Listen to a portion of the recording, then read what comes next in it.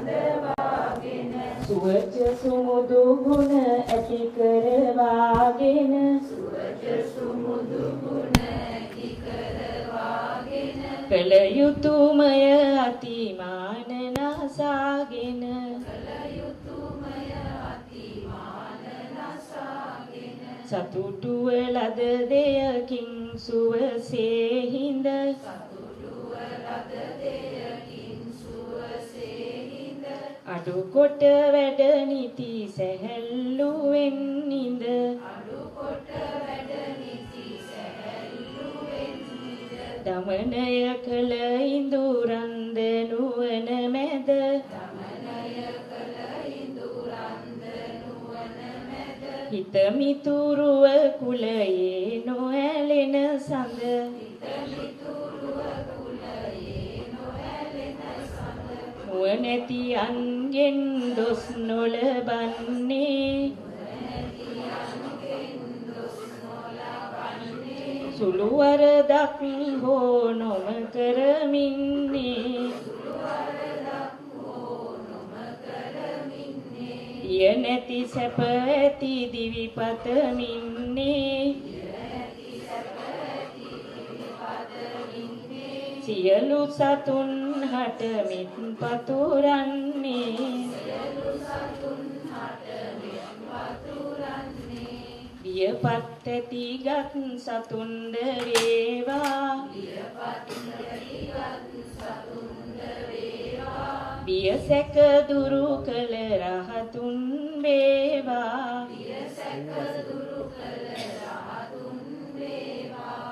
ලොකු පොඩි දිග මහා සතුන්ද වේවා.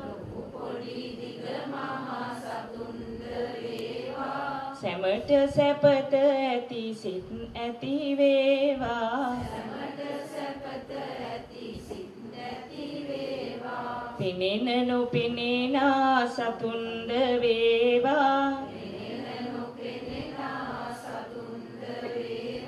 දුර ළඟ වසනා සතුන්ද වේවා ඉපදුන ඉපදෙන සතුන්ද වේවා සැමට සැපත ඇති සිත් ඇති වේවා. කිසිවෙක් කිසිවෙකු නොම රවටාවා කිසි තැනකදී ඉහලින් නොසිතාවා. නපුරු දරුණු බස් නොම පවසාවා. අනෙකෙකුගේ දුක කැමති නොවේවා.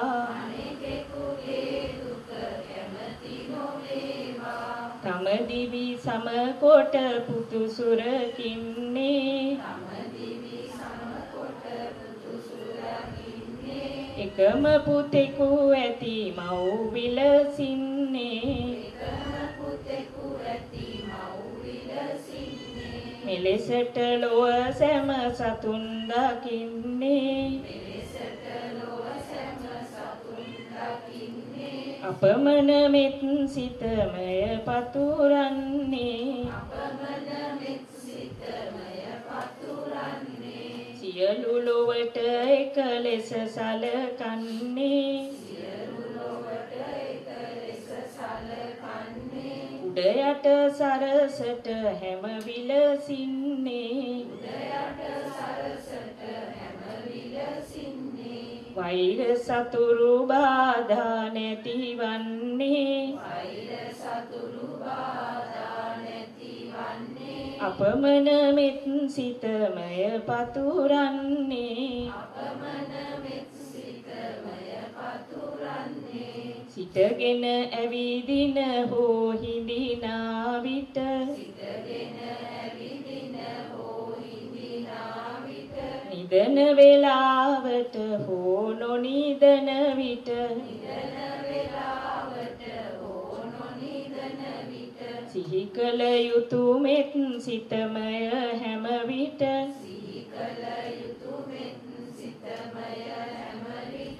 පඹ විහරණ ලෙස පවසයි එම විට.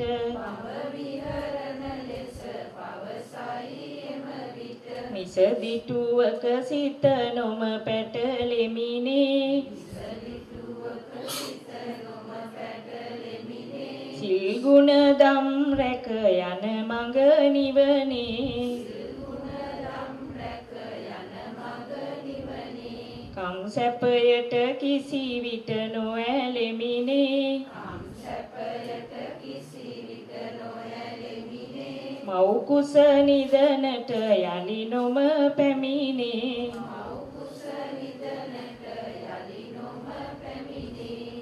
මේ සත්‍යානුභාවයෙන් සැමට සෙත් වේවා. අද කියවෙන වැඩසටහනද කීයද 29 29 දවස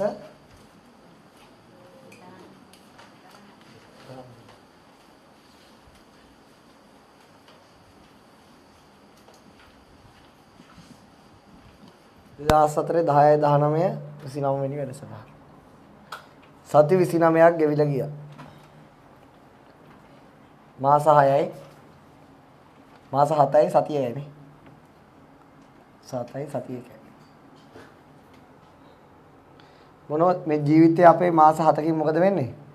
ගෙවිලා ගියා, ගෙවිලා ගියා. කොහාට ගියේ? මරණයට. මරණයට. මාස 7ක් වෙනවා හම්බ වෙලා. ඒක කිනික් එකේදී හම්බ වෙලා අදට මාස 7යි. මාස 7යි සතියේ. ඒ ඔක්කොම මොන වුණත් අපි ඔක්කොම කහාටද ගියේ මරණයට. ඒ මරණයට යන අතරේ කල්පනා කරලා බැලුවා පුදුමාකාර වැඩ කොටසක් අපි කරානේ. රටවල් වල ගියා. කොහෙද ගියේ? මරණයට. ඊට පස්සේ ට්‍රිප් ගියා. මරණයට. shopping ගියා. මරණයට. ඈ ඊට පස්සේ පින්කම් කරා.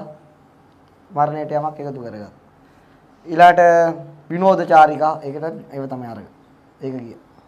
ඒ ඔහොමම ගියා. ඊට මල ගෙවල් වල ගියා.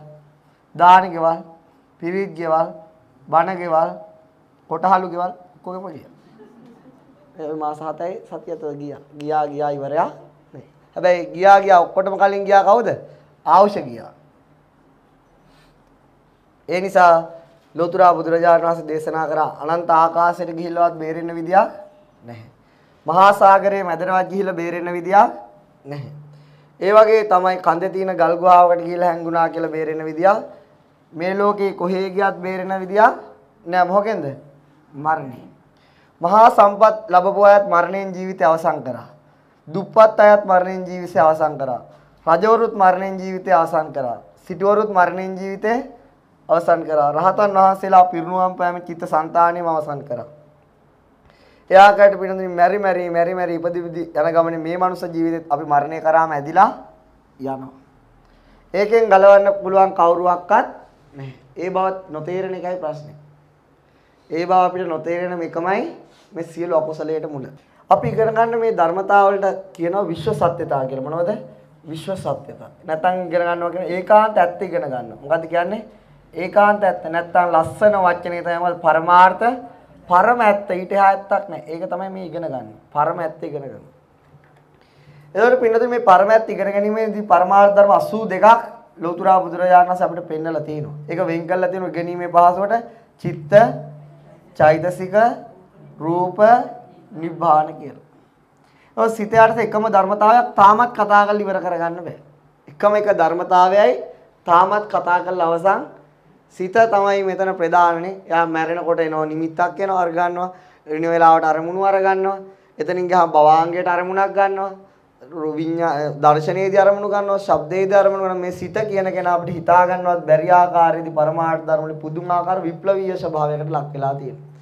සිතත් එක්ක විප්ලවය කරන්න එයාත් එක්ක උපදින ධර්මතාවලට කියන මොකද්ද? සිතුවිලි කියලා. මොනවද කියන්නේ? සිතුවිලි. එවැනි ධර්මතා 52ක් අපිට හමු වෙනින් බොහෝ ප්‍රමාණයක් අවසන්. මම හිතන්නේ නැහැ මේ කාලෙදී ওই ධර්මතා 52ම මෙච්චර ඒ කියන්නේ මේ 52ම අපි කියලා නැහනේ. 40ක් විතර ඇවිල්ලා තියෙනවා දැන්. ඔච්චරම ඉගෙන ගත්ත කෙනෙක් ඇති කියලා. ඔච්චරම පැය ගානේ වෙන් කර පැය දෙකක් එක සිතුවිල්ලකට වෙන් කරගෙන. මේක දුර්ලභ භාග්‍යයක්. මේ 52 තීනවයි කියලා ගොඩක් අය අහලා තියෙනවා. නමුත් මොකද්ද 52 කියලා? දන්නේ බොහොම අඩු පිරිසක්. බොහොම අඩු. රූපයට තියෙන රූප ධර්ම 28ක්. ඒ මේ 52 දැනගත්තත් මේ අස්සට කිඳා බහින්න කාටවත් ඒ තරම් උමනාවක් තිබුණේ නැහැ. ඒකේ පහක් වේදනා සංඥා ටික නිතර කතා වුණා, චේතනාව කතා වුණා. ඉන්න අනතුරුව මානසිකාරයේ ඉඳ හිට කතා වුණා.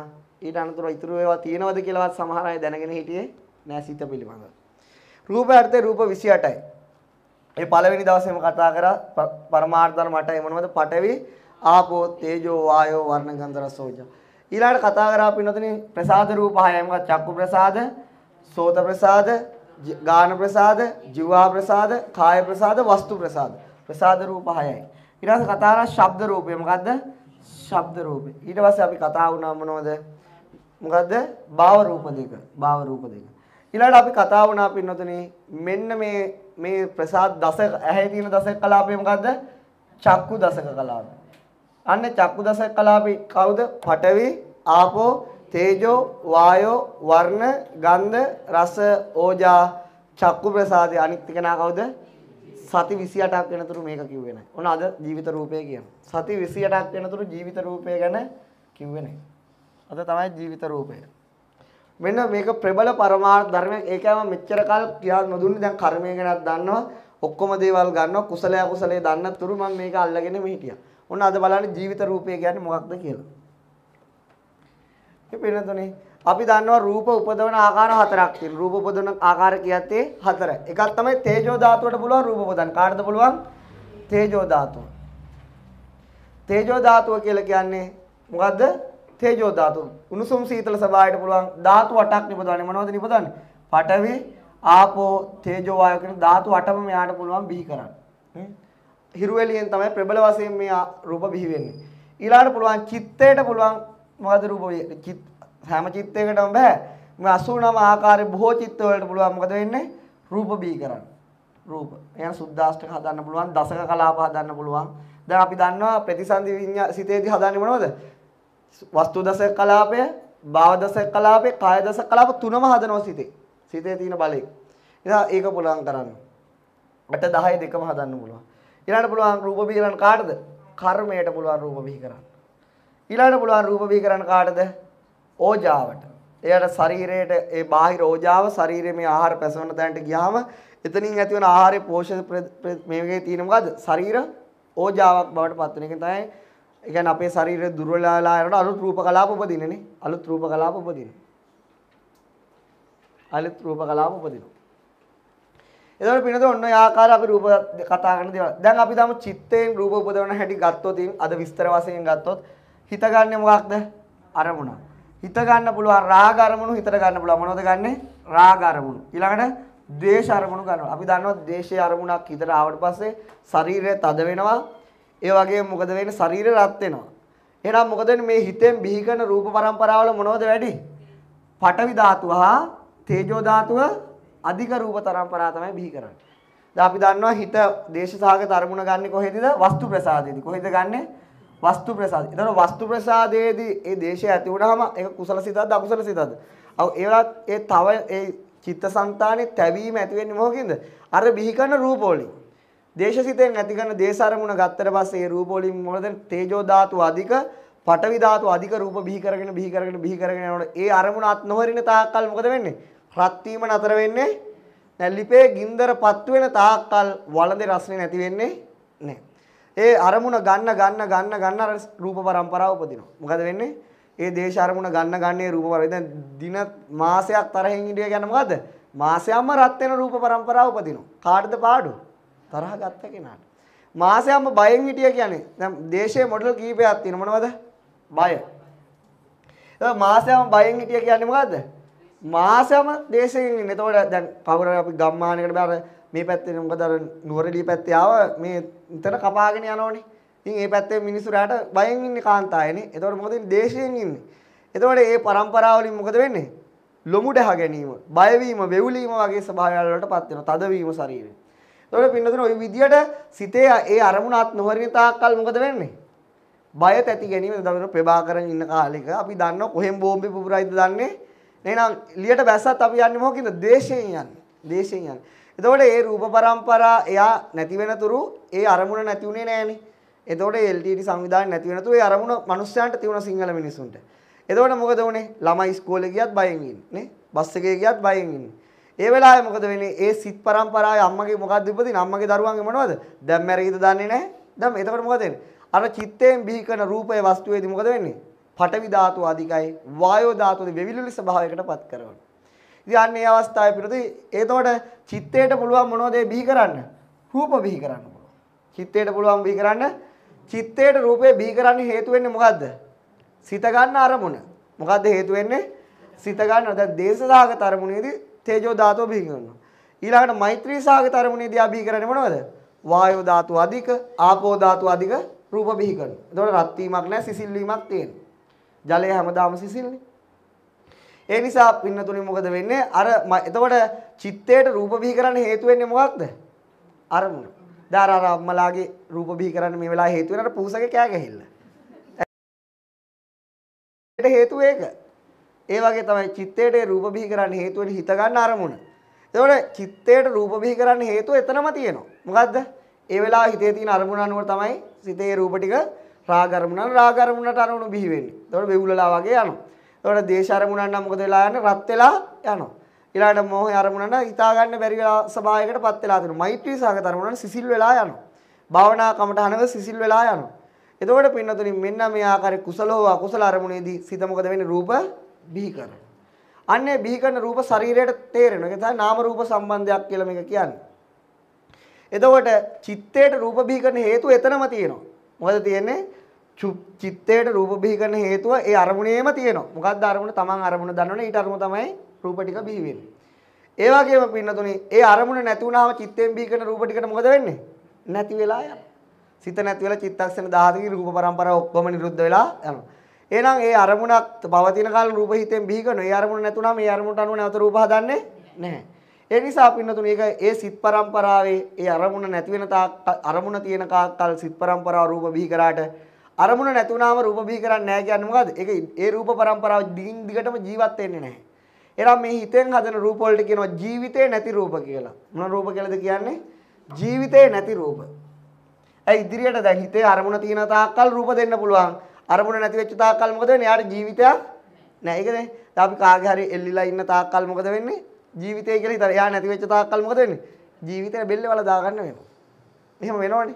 ඒ නිසා අපි නතුනි රූප පරම්පරාවලත් ඒ වගේ තමයි බෙල්ලෙම වල දාගන්නවා. කිසිම රූපයක් උපදින්නේ නැහැ. ඒ නිසා ඒ හිතෙන් බිහි කරන රූප පරම්පරාවලට කියනවා ජීවිතේ නැති රූප කියලා. මොන රූපද කියන්නේ? ජීවිතයක් නැති රූප. හේතුව තියෙන කල් තියලා හේතුව නැති වුණාම නැති වෙලා එවෙලෙම නැති වෙලා යනවා. ඔන්න ඒ වගේ ජීවිතේ නැති රූප. ඊට පස්සේ පින්නතුනි අපි දන්නවා අපේ සිත් පරම්පරාවේ අරමුණක් ගත්තම චේතනාවක් තියෙනවා. මොකද්ද තියෙන්නේ? චේතනාව. හිතට තියෙනවා චේතනාව කියලා උපදින හැම හිතම. අන්නේ චේතනාවෙන් බිහි කරන ශක්තියට කියන්නේ මොකද්ද? කර්මය කියලා. මොකද්ද කියන්නේ? කර්මය කියලා. ඉතින් මෙන්න මේ කර්මයක් අපි අතීතයේ කරපු කර්ම මේ මොහොතේ තියෙන එකක් නෙමෙයි. අතීත කර කුසල අකුසල කර්ම. මොන කර්මද? අතීත කුසල අකුසල කර්ම. එතකොට අතීත කුසල අකුසල කර්ම නිසා මොකද වෙන්නේ? වර්තමානයේ රූප බිහි කරන ස්වභාවයක් තියෙනවා. දැන් මේ වෙලාවේ නැති කර්මයකට අතීතයේ කළ කර්මයක් මේ වෙලාවේ තියෙන එකක්ද? නැහැ. නමුත් අතීත කර්මයට පුළුවන් මේ වෙලාවේ රූප බිහි කරවන්න. එහෙනම් බලන්න හේතුව දැන් මේ මොහොතේ නැහැ. හේතුව තියෙන අතීතේ. නමුත් මේ මොහොතේ රූප බිහි වෙන්නේ. එහෙනම් මොකද වෙන්නේ? මෙයා ජීවිතයක් තියෙන රූපයක්. මොන රූපයක්ද? ජීවිතය ආන්නයකට තමයි ජීවිත රූපය කියන්නේ. ජීවිතයක් තියෙන රූපයක්. මොන රූපයක්ද? ජීවිතයක් තියෙන. අන්නේ ජීවිත රූපය කියලා කියන්නේ කර්මයේ විපාක ස්වභාවයකට. මොන ස්වභාවයකද? කර්ම විපාක ස්වභාවය. දැන් අපි දන්නවා සමහර පිළිකාව හැදෙනවා මැරෙන තුරුමයි පිළිකාව යන එක නැති වෙන්නේ නෑ එහෙනම් ජීවත් ජීවිත රූපේ මොකද වෙන්නේ? පිළිකාවට අවශ්‍ය රූප පින්ඩ හොඳට නිෂ්පාදනය කරලා දෙනවා. ඒක තවදුරටත් තේරුම් කරන්න මෙහෙමයි. ජීවිත රූපය කියලා කියන්නේ මොකද්ද? ජීවිතයක් තියෙන රූපයක් කියන අදහස් තමයි නමේ තේරුම. ජීවිතේ හිතෙන් හදන රූප වලට ජීවිතයක් නේ හේතුව නැති වෙච්ච ගමන් එතනම නැති වෙලා යනවා. තාම මේ ජීවිත රූපේ අවසන් නැහැ. දැන් අපි ගත්තොත් ඉතින් පිනෝද චක්කු දසක කලාපේ මොන දසක කලාපේද? චක්කු දසක කලාපේ තියෙන ධර්මතා 10 තමයි මොනවද? පඨවි, ආපෝ, තේජෝ, වායෝ, වර්ණ, ගන්ධ, රස, ඕජා, ජීවිත රූපේ. ජීවිත රූපය මොකද වෙන්නේ? පෙර කර්මය හා සම්බන්ධයි. මොකක් හා සම්බන්ධ? පෙර අද කර නොකලා වූ පෙර අතීත භව ගණනාවට කලින් වෙන ඒ කර්මයක් හා ජීවිත රූපය සම්බන්ධ වෙලා තියෙනවා. ඒ ජීවිත රූපය බිහි වෙන්නෙම පෙර කර්මයෙන්. එයත් එයා ඉන්නේ පෙර කර්ම ශක්තියෙන්. ඒ විතරක් නෙවෙයි මේ ජීවිත රූපයට තියෙන පාලන බලයක්. මොන බලයක්ද තියෙන්නේ? පාලන බලයක්. දැන් අපි දන්නවා රටේ රජතුමා ඉන්නේ මොනවද? එයාත් ඉන්නේ ආහාර පාන අරගෙනනේ. සොෆ්ට් හරි හાર્ඩ් හරි මොන හරි කමන්නේ. ආහාර පාන වලින් තමයි එයා ජීවත් වෙන්නේ. අපි ජීවත් වෙන්නේ ආහාර පාන වලින්ම තමයි. නමුත් අපේ පාලන බලය කාටද? තුනෙන්ගේ තුනෙන් දෙකේ බලයක් දීලා තියෙන කාටද? එයාට. ඉතින් ඒ නිසා එයාට ඕන ඕන විදිහට තමයි අපි පාලනය කරන්නේ. ආ බඩු මිල වැඩි කරොත් එහෙමයි, ගෑස් මිල අඩු කරොත් දෙවියන් වහන්සේ වැඩි කරන්න, දෙවියන් වහන්සේ අඩු කරන්න. ඒ විදිහට. නමුත් එයාත් එයාගේ එයාත් ආහාර වලින්ම ජීවත් වෙමින් අපිත් ආහාර වලින් ජීවත් වෙන අපිට එයාගේ බලය පෙන්වනවා. ඒ වගේ තමයි මේ ජීවිත රූපයත්. එයත් යම්කිසි හේතුවකින් කර්ම ශක්තියකින් ජීවත් වෙමින් එයාගේ පාලන බලය මේ නම දෙනාටම නතු කරලා තියෙනවා. මෙයා හැඩගැහෙන විදිහට තමයි මේ නම දෙනා හැඩගැහෙන්න වෙන්නේ. ඒක උදාහරණයක් වශයෙන් කියනවා නම් නැවක් තියෙනවා. නැව යන්නේ මහා සාගරේ. මහා සාගරේ නැව යනකොට නැව ගෙනියන්නේ කවුද? කපිතාන්. කපිතා යන්නේ තේ නැවේ. හැබැයි කපිතාන්ට ඕන විදිහටයි නැව යන්න ඕන. අන්න ඒ වගේ තමයි. ඒ වගේ තමයි මෙයාත් මේගොල්ලොත් එක්ක ඉඳගෙනවා මේගොල්ලොන්ට කියන උඹලා මට ඕන විදියට හැදියා. ඒ නිසා මෙයාට පාලන බලයක් ලැබිලා තියෙනවා. සා ජීවිත රූපය කියන්නේ කර්මය ස්වභාවයක්. කර්ම ස්වභාවයක ඉඳගෙන ඊතුරු රූප නමය මෙයා පාලනයකට නතු කරලා තියෙනවා. ඒ නිසා එයා හිතුවතින් මම මෙතන උපදවන්නේ නැහැ කියලා ඊතුරු නම දෙනාට කර කියා ගන්න දෙයක් නැහැ. ඒ වගේ තමයි. ඉතින් ජනාධිපතිතුමා හිතුවතින් මේ රට විසිරවන්නේ නැහැ කියලා අනිත් අයට ඉතින් කර කියා ගන්න දෙයක් නැහැ. ඇමතිවරු හිටියට උන් මොනව කරන්නද? උන්ට කරන්න දෙයක් නැහැ. තුනෙන් දෙකක් තියෙනවා. ඒ මෙයාට අපේ ජනාධිපතිට තුනෙන් දෙකයි මෙයාට තුනෙන් තුනයි. ඒ මෙයා කිව්වොත් කිව්වම තාමයි ආයි ආයි හෙලවෙන්නවත් බෑ තුනෙන් එකකටවත්. ඒ නිසා පින්නතුනේ මෙන්න මේ ජීවිත රූපය කියන්නේ සම්පූර්ණ ධර්ම පාලනය නතු කරන ස්වභාවය. ඒක නැවත උදාහරණයක් මතක් කරනවා නම් නැවේම යමින් නැව තමන්ගේ පාලනයට නතු කරලා තියෙනවා වගේ. හැබැයි නැව කියන්නේ කපිතාන්ට නෙවෙයි කපිතාන් කියන්නේ නැවටත් නෙවෙයි නමුත් කපිතාන්ට ඕන විදිහට නැව කොච්චර විශාල වුණත් යන්න ඕන. ඒ වගේ තමයි මෙන්න ඒකයි ලෞතර බුදුරජාණන් වහන්සේ දේශනා කරේ ජීවිත කියන රූපය කියන්නේ කර්මයේ ස්වභාවයක්. මොන ස්වභාවයක්ද? කර්ම ස්වභාවයක්. අපේ ඇහැ කියන්නේ පින්නොතනි කර්ම ස්වභාවයක්. මොන ස්වභාවයක්ද? කර්ම ස්වභාවයක්. දැන් අපි එකිනෙක කිනා ගෑස් වෙනස්. එකිනෙක කිනා ගෑස් වෙනස්. ඒ වෙනස ඇති කරේ පෙර කර්මයෙන් අද නානු ගාලවක්වත් අඳුන් ගාලවක්වත් ඒ කර්මය වෙනස් කරන්න ජීවිත රූපයට හිතුනොත් මෙයා ලස්සන කරන්න එයා ලස්සන කරනවා වෙයි. ජීවිත රූපයට හිතුනොත් එයා ඉදිමන්න එයා උදුම්මවනවා. ඒ රූප බිහි කරනවා ඒ ප්‍රසාද කලාප වලට. ඒ නිසා පින්නතුනි මුළු ශරීරයම ගතොත් ඇහැ කන නාසය දිවතන හැමතැනම මේ ප්‍රසාද රූප තියෙනවා. දැන් ඇහි තියෙනවා චක්කු දසක කලාපය. කනේ තියෙනවා සෝත දසක කලාපය. එතරම් තියෙනවා ජීවිත රූපය. නම් මුළු කනම නතු වෙලා තියෙන කාගේ පාලන බලයටද? ජීවිත රූපේ පාලන බලයට නතු වෙලා තියෙනවා. එහෙනම් ජීවිතයක් තියෙනවා. එයා මේ දැන් බ්‍රහ්මයාගේ ජීවිත ගත්තම කල්ප ගාණක් දිගයි. මොන ගාණක් දිගයිද? බ්‍රහ්ම ශරීර මේ අවුරුදු 100න් හැටෙන්නේ නැති වෙන්නේ නැහැ. කල්ප ගාණක් තියෙන ශරීර මෙන්න මේ ජීවිත රූපෙට කල්ප ගාණකට වුණත් එයාට රූප ඉපදවන්න පුළුවන්. එයාගේ බලය කොයිතරම්ද කියනවනේ දැන් බ්‍රහ්මයෙක් වෙන්නේ මෙහි ධාන වඩලේ කර්ම ශක්තියනේ බ්‍රහ්මයෙක් වෙන්නේ. ඒ කර්ම ශක්තියට පුළුවන් කල්ප ගාණක් ඒ රූප පරම්පරාව නොසිඳා පවත්ත ගන්න. මොකද්ද කරන්න පුළුවන්? ඒ රූප පරම්පරාව නොසිඳා පවත්වන්න බලයක් ජීවිත රූපයට තියෙනවා. දැන් හිතට නම් හිතේ බිහි කරන රූප වලට එහෙම හැකියාවක් නෑ. ඒ වෙලේ අරමුණාව, ඒ වෙලේ රූප ටික ඇතුණා, ඒ වෙලේ නැතුණා. නමුත් ජීවිත රූපයට එහෙම දෙයක් නෑ. ඒක තමයි කිව්වේ කලන කාලයට පව මිහිරිය මීසේ විදින කාලයට දැක් දුක් ගැයි. ඇයි මෙයා ජීවිත රූපයෙන් මිහිරියකට කර කර්මය මොකද කරන්නේ? කල්ප ගාණක් අදගෙන යනවා. ඊළඟට තර තියෙනවා එක් එළු දෙනක් මොකද්ද? පෙරාංගනක් එක් එළු දෙනක හිස සිඳා. එහෙනම් අයාංග ලෝම ගණනෙහිස් කැපුන් ලදා. ඇත්ත ඒක තමයි. මොකද ජීවිත රූපයේ කර්ම ශක්තිය ඇති කරාට પરම්පරා ගානකට උනත් ජීවිත රූපයට පුළුවන් ඒ කර්ම ශක්තිය නොසිඳා අරගෙන යන්න. ඒක නිසා ඒකට කියන්නේ ජීවිතයේ තියෙන රූපයක්. එයාට එයා එකපාර මැරෙන කෙනෙක් නෙවෙයි බොහෝ කාලයක් ජීවත් වෙන්න පුළුවන් ස්වභාවයක්. ඒ නිසා කර්ම ස්වභාවයක ඉතාමත් භයානක අවස්ථාවක් තමයි ජීවිත රූපය කියලා කියන්නේ. මොකද ඒක කුසල පැත්තට නෝත නිරේ ඉපදිච්ච හැක් වුණොත් මොකද වෙන්නේ? අර අවීචි මහා නරකාදී මහා කල්පේම අර හැ අරගෙන යනවා. කොච්චර පිච්චුණක් ගින්දරට මොකද වෙන්නේ? ඇහි දසක කලාප විනාශ වෙන්නේ. උපදි උපදි නිරුද්ධ වෙනවා. උපදි උපදි ජීවිත රූපය කියන්නේ නිත්‍ය දෙයක් නෙවෙයි. එයත් ඒ මතම ඉපදෙමින් ඒ පතම අලුත් රූප પરම්පරාව බිහි කර ගන්නවා. ඒ නිසා පින්නොතින් අපේ ඇහැ කියන එක බලන්න අවුරුදු 60කට විතර මේකේ කර්ම ජීවිත රූපේ බලය තියෙන අවුරුදු 60ක් නම් අවුරුදු 60ක් යනකම් අපිට පෙනීම ලබා දෙනවා. ඒ වගේම මේ 60 දී කර්ම ශක්තිය නැති වුණොත් මොකද වෙන්නේ? අන්න අර අම්මා වගේ නිින්ද යනවා. අපිට නිින්ද යනවනේ නේ. ඒ වගේ තමයි මොකද ඒ කර්ම ශක්තිය නැති වුණොත් මොකද්ද වෙන්නේ අපිට පෙනීම ලැබෙන්නේ? දසක කලාප බිහි කරේ නැති වුණොත් චක්කු ප්‍රසාද ජීවිත රූපයෙන් කවදාවත් මොන ඔපරේෂන් එක කළවත් ඇහැ දෙන්න ඒ ජීවිත රූපයෙන් කර්ම ටික බිහි කරනවා. නමුත් ඉස්සරහා අවීරතාවයක් තුන මොකක් හරි කළ පෙනීම දෙන්න පුළුවන්. කර්ම සෝත දසක කලාපේ ජීවිත රූපයෙන් සෝත දසක කලාපේ පාලනය කරමින් බිහි කරගෙන යනවා. නමුත් අර අවහිරතාවයක් තියුණොත් දෙන්න පුළුවන්. අවහිරතාවයක් නැතුව දසක කලාප ජීවිත රූපයෙන් දුන්නේ නැති වුණොත් කිසි දිනක අහන්න බැහැ. ඒ නිසා පින්නතුනි මෙතන මහා බලය පවත්තන ජීවිත රූපේ. එතකොට කනේ විතරක් නෙවෙයි මේක තියෙන්නේ මොකේද? නහයෙත් තියෙනවා. දැන් අපි පමණක් ආච්චිලා සියලා කියනවා මට නම් දැන් සුවඳ තේරෙන්නේ නෑ පුතේ කියලානේ. ඉතින් ඒ වගේ තමයි ඉතින්. ඉතින් තේරෙන්නේ නැත්තම් ප්‍රසාද ගිහිල්ලා යන්න. ප්‍රසාද යන්නේ ජීවිත රූපේ යන නිසා. ඒ වගේ තමයි කපිතාන් නැව අයිස්කන්ධ ගැප්පුව මොකද වෙන්නේ? නැව ඉවරයි කොච්චර ලොකු වුණා. ඒ වගේ තමයි නේ ටයිටනික් උනත් දෙකට කඩලා යන අර පන්තිය මුලදී ආ මොකද ඉතාලි කොස්ටෝ කොන්ඩෝ මොකද්ද? කොස්ටෝ ආ ඒක උනත් දෙකට කඩලා ඒක ඉවරයිනේ. ඉතින් කපිතාන් වැඩේ වරද්ද ගත්තොත් වරද්ද ගත්තම තමයි. ඒ වගේ තමයි ජීවිත රූපේ වැඩ වැරද්දුවොත් මහා ගස්ගල් වගේ ඉන්න පුළුවන්. දැන් අපි දන්නවා ඉරාකයනේ ඉරාකෙ හිටිය සදාම් හුසේන් ගහක් ගලක් වගේ රට නමුත් කරගන්න දෙයක් නෑ ජීවිත රූපේට ඕන වුණොත් බාහිර බලපෑමක් කළා ඒ නිති කරන බාහිර බලපෑමින් හරියා නැති කරගන්නවා.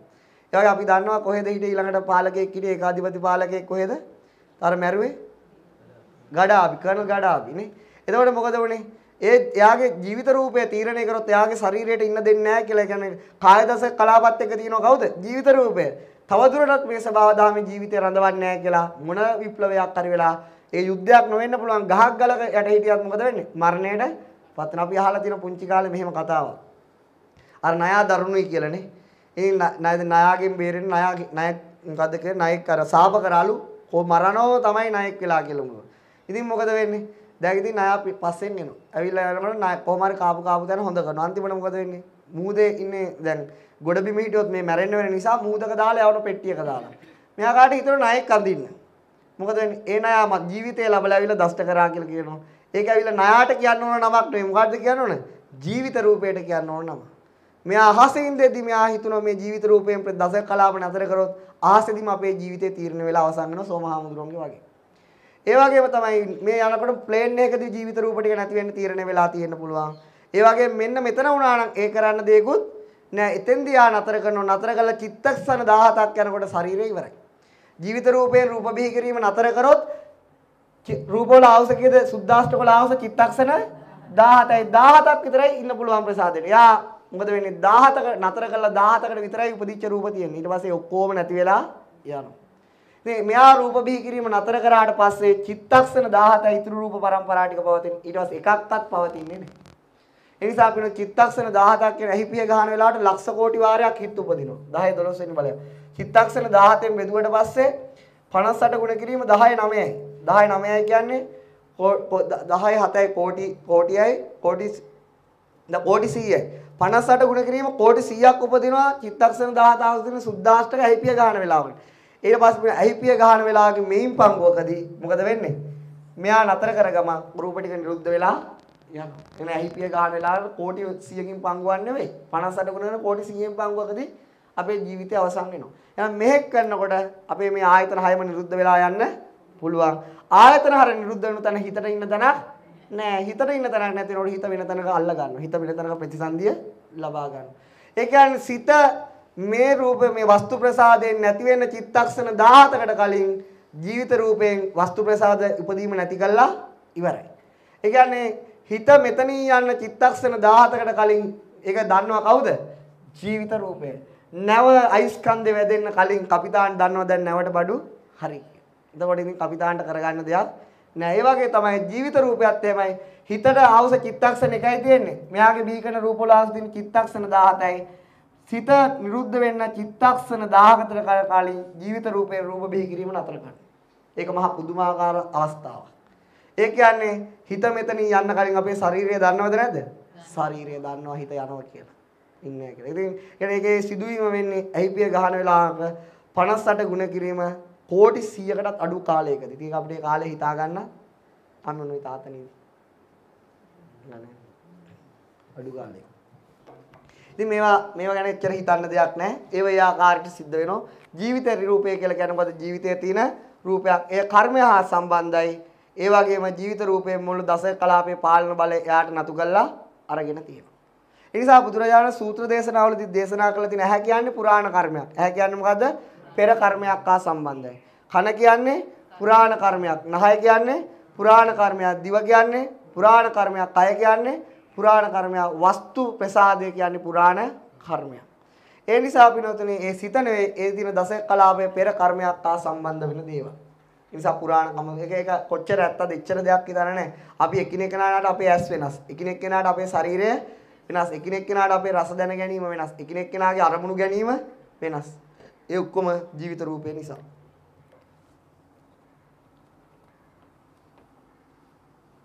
දැන් පින්නතුනේ මේ ජීවිත රූපය අර අතෙන්දිම කියා දුන්නා නම් දෙවෙනි සතේ දස කලාප කියා දෙන තැන මොකද වෙන්නේ? අනාතයි. කර්මය දන්නෙත් නැහැ. කුසලය අකුසලය දන්නෙත් නැහැ. ඊට පස්සේ ගියාම හිත රූප බිහි කරනවයි කියලා දන්නෙත් නැහැ. ඊට පස්සේ ඕජාවේ රූප බිහි කරන කියා දෙන්න ගියා නම් මොකද වෙන්නේ? කියා දෙන්න ගියා නම් දේශකයන් වහන්සේට මට තේරෙන්නෙත් නැහැ. අහන් ඉන්නට තේරෙන්නේ නැහැ. ඒක නිසා තමයි මෙච්චර කල්ම ඇදගෙන ආයේ කියා දෙන්න බැරි කමකට නෙමෙයි.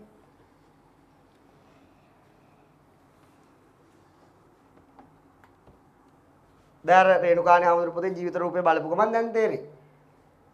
ඊළඟට තමයි තියෙනවා පින්නතුනි මෙන්න මෙහෙමයි. පමණක් අය කාල කාල කාල කාල නිදි. හරිද? පමණක් අය මොකද වෙන්නේ? නිදි මරලා නිදි මරලා නිදි. පමණක් අය සිත් ඇවුලට ගිහිලා ඇඟ හරි බරයි. එහෙම තියෙනවනේ. පමණක් අය කාල වැඩි වෙලා නිදි. පමණක් අය හිතේ තියෙන ප්‍රශ්නයකට අමාරු වියන්නට. පමණක් අයගේ මොකද වෙන්නේ? මේ කියන්නේ මේ නිදි මරලා නිදි මරලා මට වගේ නිදි මරලා ඉවර වෙලා අමාරුයි. පමණක් අය DVD ගහලා අමාරුයි. අත චාමින්ද නැහැ. ওই වගේ තියෙනවා. ඉතින් ওই වගේ ස්වභාවයක් තියෙනවා. ඉතින් ඒ වගේ ශරීරයේ පින්නතුනි අපේ හිතාමනාප වෙනකොට අපිට ආහාර වැඩියෙන් ලැබෙනකොට ආහාර නොලැබී යනකොට වැඩ කරන වැඩි වෙනකොට මොකද ශරීරයේ බරගතියක් දැනෙන මොන ගතියක්ද දැනෙන්නේ බර ගතිය ශරීරයට කිසිම සැහැල්ලුවක් නැහැ ශරීරයට කිසිම සැහැල්ලුවක් ඒ කියන්නේ ඒ ශරීරයේ සැහැල්ලුවක් නැහැ කියන්නේ මොකද පඨවි ආපෝ ගතිය අධික වෙලා ශරීරයේ මොන ගතියද අඩු වෙලා තියෙන්නේ? පඨවි ආපෝ ගතිය අධික වෙලා. ඒ කියන්නේ දැන් වැඩියෙන් කනකොට මොකද වෙන්නේ? වැඩියෙන් ඕජාව දෙනවා. වැඩියෙන් ඕජාව දෙනවා කඩල වගේ වැඩියෙන් කෑවනම් මොකද වෙන්නේ? ඉතින් අනේ දෙවියන්ගේම පිටයි හොඳටම නිදා ගන්න පුළුවන්. හොඳට කාලා හොඳට නිදි. ඉතින් අපේ මගේ යාළුවෙක් ඉන්නවා. හොඳට කන්න ඕන හොඳට නිදා ගන්න ඕන කියලා තමයි යා නිතරම කියන්නේ. ඒ වගේ තමයි. ඊට පස්සේ පින්නතේ දැන් ඔහම හොඳට කෑවට පස්සේ අර ඉස්සර පෙත්තක් ආව මොකද වෙන්නේ? මේ කියන්නේ ස්මෘත්තාව හැදෙනකන් කෑවනම් ඒ පෙත්ත බිව්වනම් හරි. මොකද්ද මේ පෙත්තේ නම? මොකද ඉස්සර ආව නේද? මැග්නීසියම් මොකද්ද ගන්නෙ? අන්න ඒක කෑවම මොකද ස්මෘත්තාවට හොඳ වෙනවා කියලා කියනවා ඉතින් මේ පන්ති රත් වෙනකොට පෙත්තක් දෙකක් අරන් යන්නේ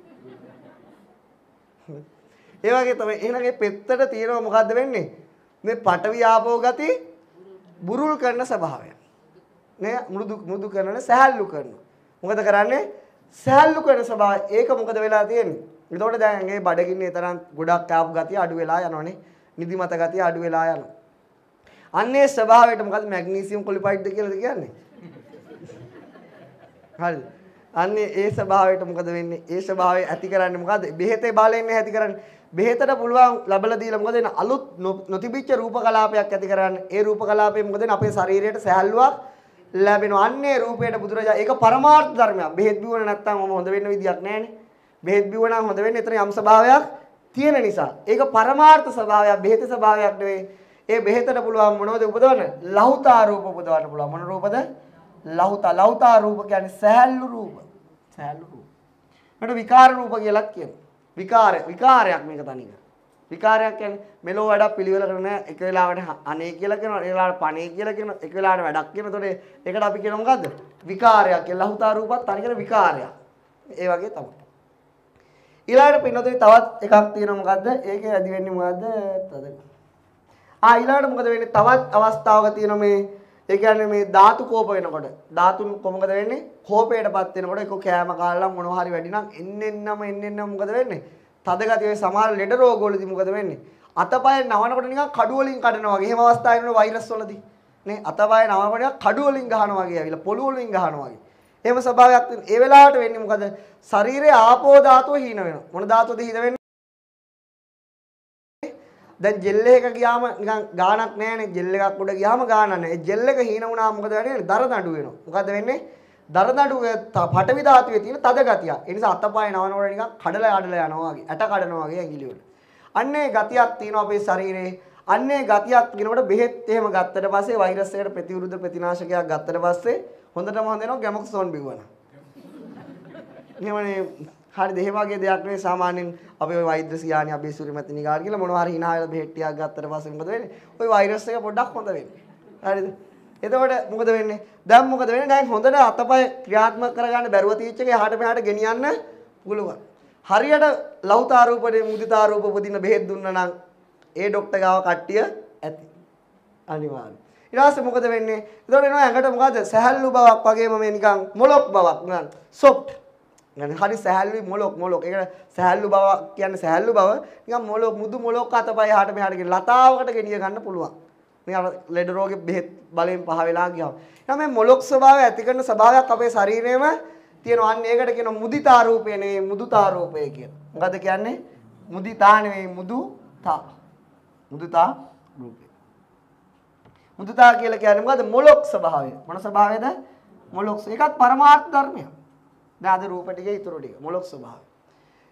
ඊළඟට පින්නතුනි තියෙනවා තව ධාතුවක් තිබෙනවා අපේ මොකද්ද? තාම මොකද්ද වායෝ ධාතුව අධිකුණා වෙවුලල වෙවුලල යනවා මේ න- යන්න බෑ කකුල් පන නැහැ. මොකද වෙවුලන ඔයා. එතකොට යාට පඩි පෙලක් නැක ගන්න අමාරුයි. ඊට පස්සේ කාටලේජ් ගෙවිලා කියලා කියනවා. ඊට පස්සේ මොකද අරම මේවා ගෙවිලා ගෙවිලා කියලා කියනවා. මොකද දැන් මෙයා වෙවුලනවා. වෙවුලනකොට වෙවුලනකොට වෙවුලනකොට මෙයාට දැන් හො- හොඳට මේ ගලක් ගහක් වගේ හිටිය මිනිහා හොඳට ලතාවකට ගිය මිනිහා වෙවුලල වෙවුලල මොකද වෙන්නේ? කර කියා ගන්න දෙයක් නැති වෙනවා. මොනවද කරේ නැති වෙන්නේ? කර කියා ගන්න දෙයක් නැතුව දැන් Tamanට අල්ලගෙන යන්න බෑ. දැන් බාත් รู ම් එකට යන්න බෑ. ගිහිල්ලා ඔළුව පැලෙනවා. ඉතින් මොකද වෙන්නේ? දැන් මෙයා වෙවිලිල්ලි ස්වභාවයක ඉන්නේ. ඒ කියන්නේ මොන ධාතුවද අධික ශරීරේ? වායු ධාතුව අධිකයි. ඊට පස්සේ අපි ගිහිල්ලා මේ ડોක්ටර් කෙනෙක් channel කරලා මොකද වෙන්නේ? බෙහෙත් ටිකක් අරන් දුන්නාට පස්සේ මෙන්න මිනිහා හොඳට යනවා. ඈ දැන් අම්මගේ පිටපත්තු මිනිහා අම්මට බැන බැන යනවා. හ්ම්. දැන් අර වෙලාවේ වෙවුලනකොට අනේ මගේ අම්මේ කොත්තමල්ලි ටික අරමල්ලි ටික සමාන් ටික කියාගෙන යන්නේ. අනේ මගේ රත්තරන් කියාගෙන යන්නේ දැන් බැන බැන යනවා. ඇයි මොකද වුනේ? අර බෙහෙත් බලයෙන් මොකද වුනේ? අකර්මණ්‍ය වූ ශරීරය කර්මණ්‍ය කරා. මොකද්ද කරේ? අකර්මණ්‍ය වූ ශරීර කර්මණ්‍ය කරන ස්වභාවයක් මේ ශරීරය ඉපදෙව්වා. අන්න ඒවට කියන මොකද්ද? කම්මඤ්ඤතා රූප. මොන ස්වභාවද? කම්මඤ්ඤතා. මොන මට නම් කියා ගන්නත් බැහැ. කම්මඤ්ඤතා. කම්මඤ්ඤතා කියන්නේ කර්මණ්‍ය අකර්මණ්‍ය දේ කර්මණ්‍ය කරන. මේවා රූප. එහෙම ස්වභාවයක් අපේ ශරීරේ නැද්ද? තියෙනවා ඒවා පරමාර්ථ ධර්ම. මොන ධර්මද? දැන් මේ ලෞතා රූප වැඩි නම් මොකද වෙන්නේ? එයා නිකන් පා වෙලා යන සුරංගනාවියක් වගේ. සුරංගනාවියන්ට ලෞතා රූප වැඩි. ඒ නිසා පා වෙන්නේ. හරි අඟ දැන් මේ ඇඟේ තියෙන පඩවි ධාතු වල තියෙන බර ගතියක් නේ. පඩවි ධාතුව ආපෝ ධාතු වතුරේ තියෙන බර ගතියක්. මේ ඇඟේ තියෙන ලීටර් 6ක විතර බරක්. ඒ වගේ මේක තියෙන මස් ගොඩක බරක් කිලෝ 50 60ක්ද තියෙනනේ. මේ ඔක්කොම දීදී අපි සැහැල්ලුවෙන් යනවනේ නිකන් සුරංගනාවිය සුරංගනාව වගේ නිකන් පා වෙලා යනවනේ. හ්ම්. බොන වෙලාවට විතරක් නෙවෙයි පා වෙන්නේ. එහෙනම් බොන වේලාව හා ලෞතා රූප හරි සම්බන්ධයක් ඇති. හරි. ඉතින් ඒ වෙලාවට යනවා. ඒ මොකද වෙන්නේ? ඒ වෙලාවේ මොකද වෙන්නේ? අපේ ලහුතා රූප මුදිතා රූප මොකද වෙන්නේ? හොඳට තියෙනවා. හැබැයි වැඩියෙන් කන කට්ටියට මොකද? කඩයෙන් කන අම්මලාට වැඩියෙන් කන තාත්තලාට වැඩියෙන් කන හාමුදුරුවන්ට ධනේදී නිින්ද පිහිටම තමයි. ඊළඟ ලහුතා මුදිතා රූප දුර්වල කරගෙන මොකද වෙන්නේ? පටවිය ආපෝ ගති අධික කරගන්න. ඒ නිසා ලෞතර බුදුරජාන් වහන්සේ වගේම සාරිපුත්ත මහරහතන් වහන්සේ කිව්වා පමනට කන්න කිව්වා. මොකද කරන්නේ? පමනට කන්න අපශ්‍ය ප්‍රමාණයට වඩා කන්න එපා. මොකද වෙන්නේ? ලහුතා මුදිතා රූප දුර්වල වුණොත් ශරීරයේ සැහැල්ලුව නැති වෙලා යනවා. ශරීරයේ සැහැල්ලුව. ඊට පස්සේ ඒ කාලේ මැග්නීසියම් කොලිපයිට් තියුන්නේ. හරි. ඒ නිසා මොකද ලහුතා මුදිතා රූප දුර්වල වුණාම ශරීරය ඕන ඕන විදියට පවත්වන්න දැන් අපි දන්න හොඳට සතුටින් ඉන්න වෙලාවකට හිනහවත් එක මොකද මේ ලහුතා මුදිතා රූප හොඳට ඒකේ කිසිම බරක් නැහැ. මෛත්‍රී භාවනාව කරන වෙලාවට. මේ මෛත්‍රී භාවනාව කරන්න අමාරු අයට මොනවද උපදින්නේ? ඈ ලහුතා මුදිතා රූප දුර්වලයි, පඨවි ආපෝ තේජෝ වායෝ අධිකයි. වෙවුල වෙවුල තද වෙවි තද වෙවි ඉන්නෝනේ. දැන් අර පියන භාවනා මධ්‍යස්ථානයකට අපි ගියාට පස්සේ අනේ නිය ඉහිම් බහිපු රෝගයක්වත් නෑ වගේ. වෙයි මේ. අර හිතත් එක්ක හොඳ හිත හොඳට සැනසෙල්ලට එනකොට ආහාර පාන ටිකක් හොඳට ලැබෙනකොට පිරිසුදුව මොකද වෙන්නේ? මේ ලහුතා මුදිතා රූප උපදිනවා. පිළිතුරු ලෞතුරා බුදුරජාණන් වහන්සේ මස් කන්න හෝ එපා කියලා එහෙම දේශනයක් කළා නැහැ. නමුත් මේ ප- සමහර මස් වර්ග එක්ක මොකද වෙන්නේ? ශරීරයට යම්කිසි තදගතිය ඇති වුණාට පස්සේ අජීර්ණ නැති වුණාට පස්සේ මේ ලහුතා මුදිතා රූප දුර්වල කරන්න පුළුවන්. දැන් මම දන්න අම්ම කෙනෙක් ලස්සන කතාවක් කිව්වා. මේ මොකද කිව්වේ? ඒ අම්මා වඩේ කාපු හැටි. අපිත් එක්ක ගියා එක ආරණ්‍යයකට එනකොට කිව්වා මේ වඩේ මහත්තයා ගියාලු සිගරට් එකක් බීලා එන්න. හ්ම් මහත්තයා සිගරට් එක මේ අම්මලා තෝ වඩේ එකක් කන්නේ කියලා. වාහනින් බහලා වඩේ එකක් අරගෙන කෑවලු. කෑවට පස්සේ මොකද වුනේ? ගෙදරට යනකාම බාත්රූම් හොයව ගියා. එහෙනම් මෙන්න මේ අප්‍රත්‍ය ආහාර ගත්තට පස්සේ මොකද වෙන්නේ? ලහුතා මුදිතා රූප දුර්වල වෙන්නේ. ඊට පස්සේ ශරීරයට කිසිම සහැල්ලුවක් නැහැ. ඉතින් බාත්රූම් වල පිට තමයි. ඒ නිසා පිට ගමන් යනකොට කෑමෙන් බීමෙන් පරිස්සම් වෙනවා. මොකද ලහුතා මුදිතා රූප දුර්වල වුණොත් කම්මඤ්ඤතා දුර්වල වුණොත් ශරීරය ඕන ඕන විදිහට තියාගන්න බැරිව යනවා. ඒ නිසා අපි මෙන්න මේවට කියන පරමාර්ථ ධර්ම මොන ධර්මද? පරමාර්ථ ධර්ම. ඒ නිසා ලෙඩක් වෙලා කවුරු හරි බෙහෙත් ගන්න නැත්නම් මොකද එයා කරන්නේ? එයා පරමාර්ථ ධර්ම විශ්වාස කරන්නේ දැන් පමණක් අය හිතන ලෙඩක් වුණාට පස්සේ යන භාවනාවේ බලේනේ අරකේ බලේනේ මේක සීලේ බලෙන් හොඳ කරගන්න. එහෙම නෑ සමහර ලෞතාරූප උදින්නේ සමහර බෙහෙත ඇඟට වැටුනොත් විතරයි. එතන ඒ වෙන තුරු මොකද වෙන්නේ? කම්මඤ්ඤතා රූප උපදින්නේ නෑ කර ශරීරයේ කර්මන්නේ වෙන්නේ නෑ. ලෞතා රූප උපදින්නේ ඒ නිසානේ ලෞතර බුදුරජාණන් වහන්සේ භාවනාවගෙන ඉහළටම දන්නේ මොකද ලෙඩ වුණාම බෙහෙත් ගන්න එපා කියලා තියෙනවද? නෑනේ බුදුරජාණන් වහන්සේ ජීවක වේදතුමාට කියලා ගල් පතුරක් අයින් කරා. එතකොට පින්නදින් ගල් කෑල්ලක් අයින් කරේ මොකද? ඒක තවදුරටත් ශරීරයේ තුනත් මේ රූප එන්න එන්නම දුර්වල වෙලා ශරීරයට කිසිම පහසුවක් නැති වෙලා යනවා. ඒක පරමාර්ථ ධර්ම දන්න අය කොච්චර මේ භාවනා කරා සිල් රැක්ක කියලා මොකද වෙන්නේ? බෙහෙත ගන්න ඕන තැන බෙහෙත ගන්න නැතුව ඉන්නේ. නෑ මොකද පරමාර්ථ ධර්ම ස්වභාවයකම තියෙනවා. මේ ලහුතා රූප මුදිතා රූප දුර්වල කරන්න පුළුවන් ස්වභාවයක්. හොඳට සහැල්ලුවෙන් ඉන්න ඕන අය මොකද වෙන්නේ? හොඳට කන්නේ නෑ. හොඳට කන්නේ කවුද? මෝඩයෝ. ඇයි? හොඳට කෑමෙන් පස්සේ තමන්ගේ සහැල්ලුවම තමයි නැති වෙලා යන්නේ. ඉතින් අවුරුදු කාලට අරහෙන් දුන්න මෙහෙන් දුන්න කියලා කන්න ගියොත් මොකද වෙන්නේ? විනාශ. දැන් මට මේ කාලේ දෙන විදියට කන්න ගියොත් මොකද වෙන්නේ? විනාශෙන් විනාශයි. ඉතින් අපේ සහැල්ලුව තියාගන්න අපි මේව දන්නව නම් පමණට කාලා පමණට ඉන්න ඕනේ. ඉතින් සාරිපුත්ත මහරහතන් වහන්සේ කෝ මහණෙනි දානේ වළඳනකොට පාත්‍රේ මොකද වෙන්නේ? ටිකක් තියාගන්නකෝ වතුර බොන්න. මොකට බොන්නද? වතුර බොන්න උගුර ගාවටම වළඳන්න එපා කිව්වා. උගුර ගාවට වැළඳුවම මොකද වෙන්නේ? භාවනා කමඨානක් හරියට කරන්න මේ මොකද මේ ලහුතා මුදිතා කම්මඤ්ඤතා රූප හරියට නැති වුණාම කමඨානක් හරියට දිනු කරගන්න බැහැ. ඒ නිසා ඒව ගැන සැලකිලිමත් වෙන්න ඕන යෝගී. දැන් අද දවසේ පරමාර්ථ ධර්ම කීයද? 3යි ජීවිත රූපයයි 4යි. ওই රූප 28න් ඉතුරු වෙන ඒවා. මෙන්න මේවට කියනවා විකාර රූප කියලා. සමහර අය පන්තියට යන එක විකාරයි වගේ. එහෙම තමයි. විකාරය කියන්නේ කිසිම පිළිවෙලකට නෑ කිසිම පිළිවෙල නෑ එන්න ඕ යන ඕන වෙලාවකට එන ඕන වෙලාවකට යන එයාගේ අයට කියන විකාර කියලා. ඒ වගේ තමයි මෙන්න මේ රූප තුනත් විකාරයි. බෙහෙත් තිනකොට උපදිනවා බෙහෙත් නැති වෙනකොට මල විකාරයක් වගේ යන්නේ නිසා විකාර රූප කියලා කියනවා. මෙන්න මේක අන්තිමට කියන විකාර රූප කියන්නේ හේතුව.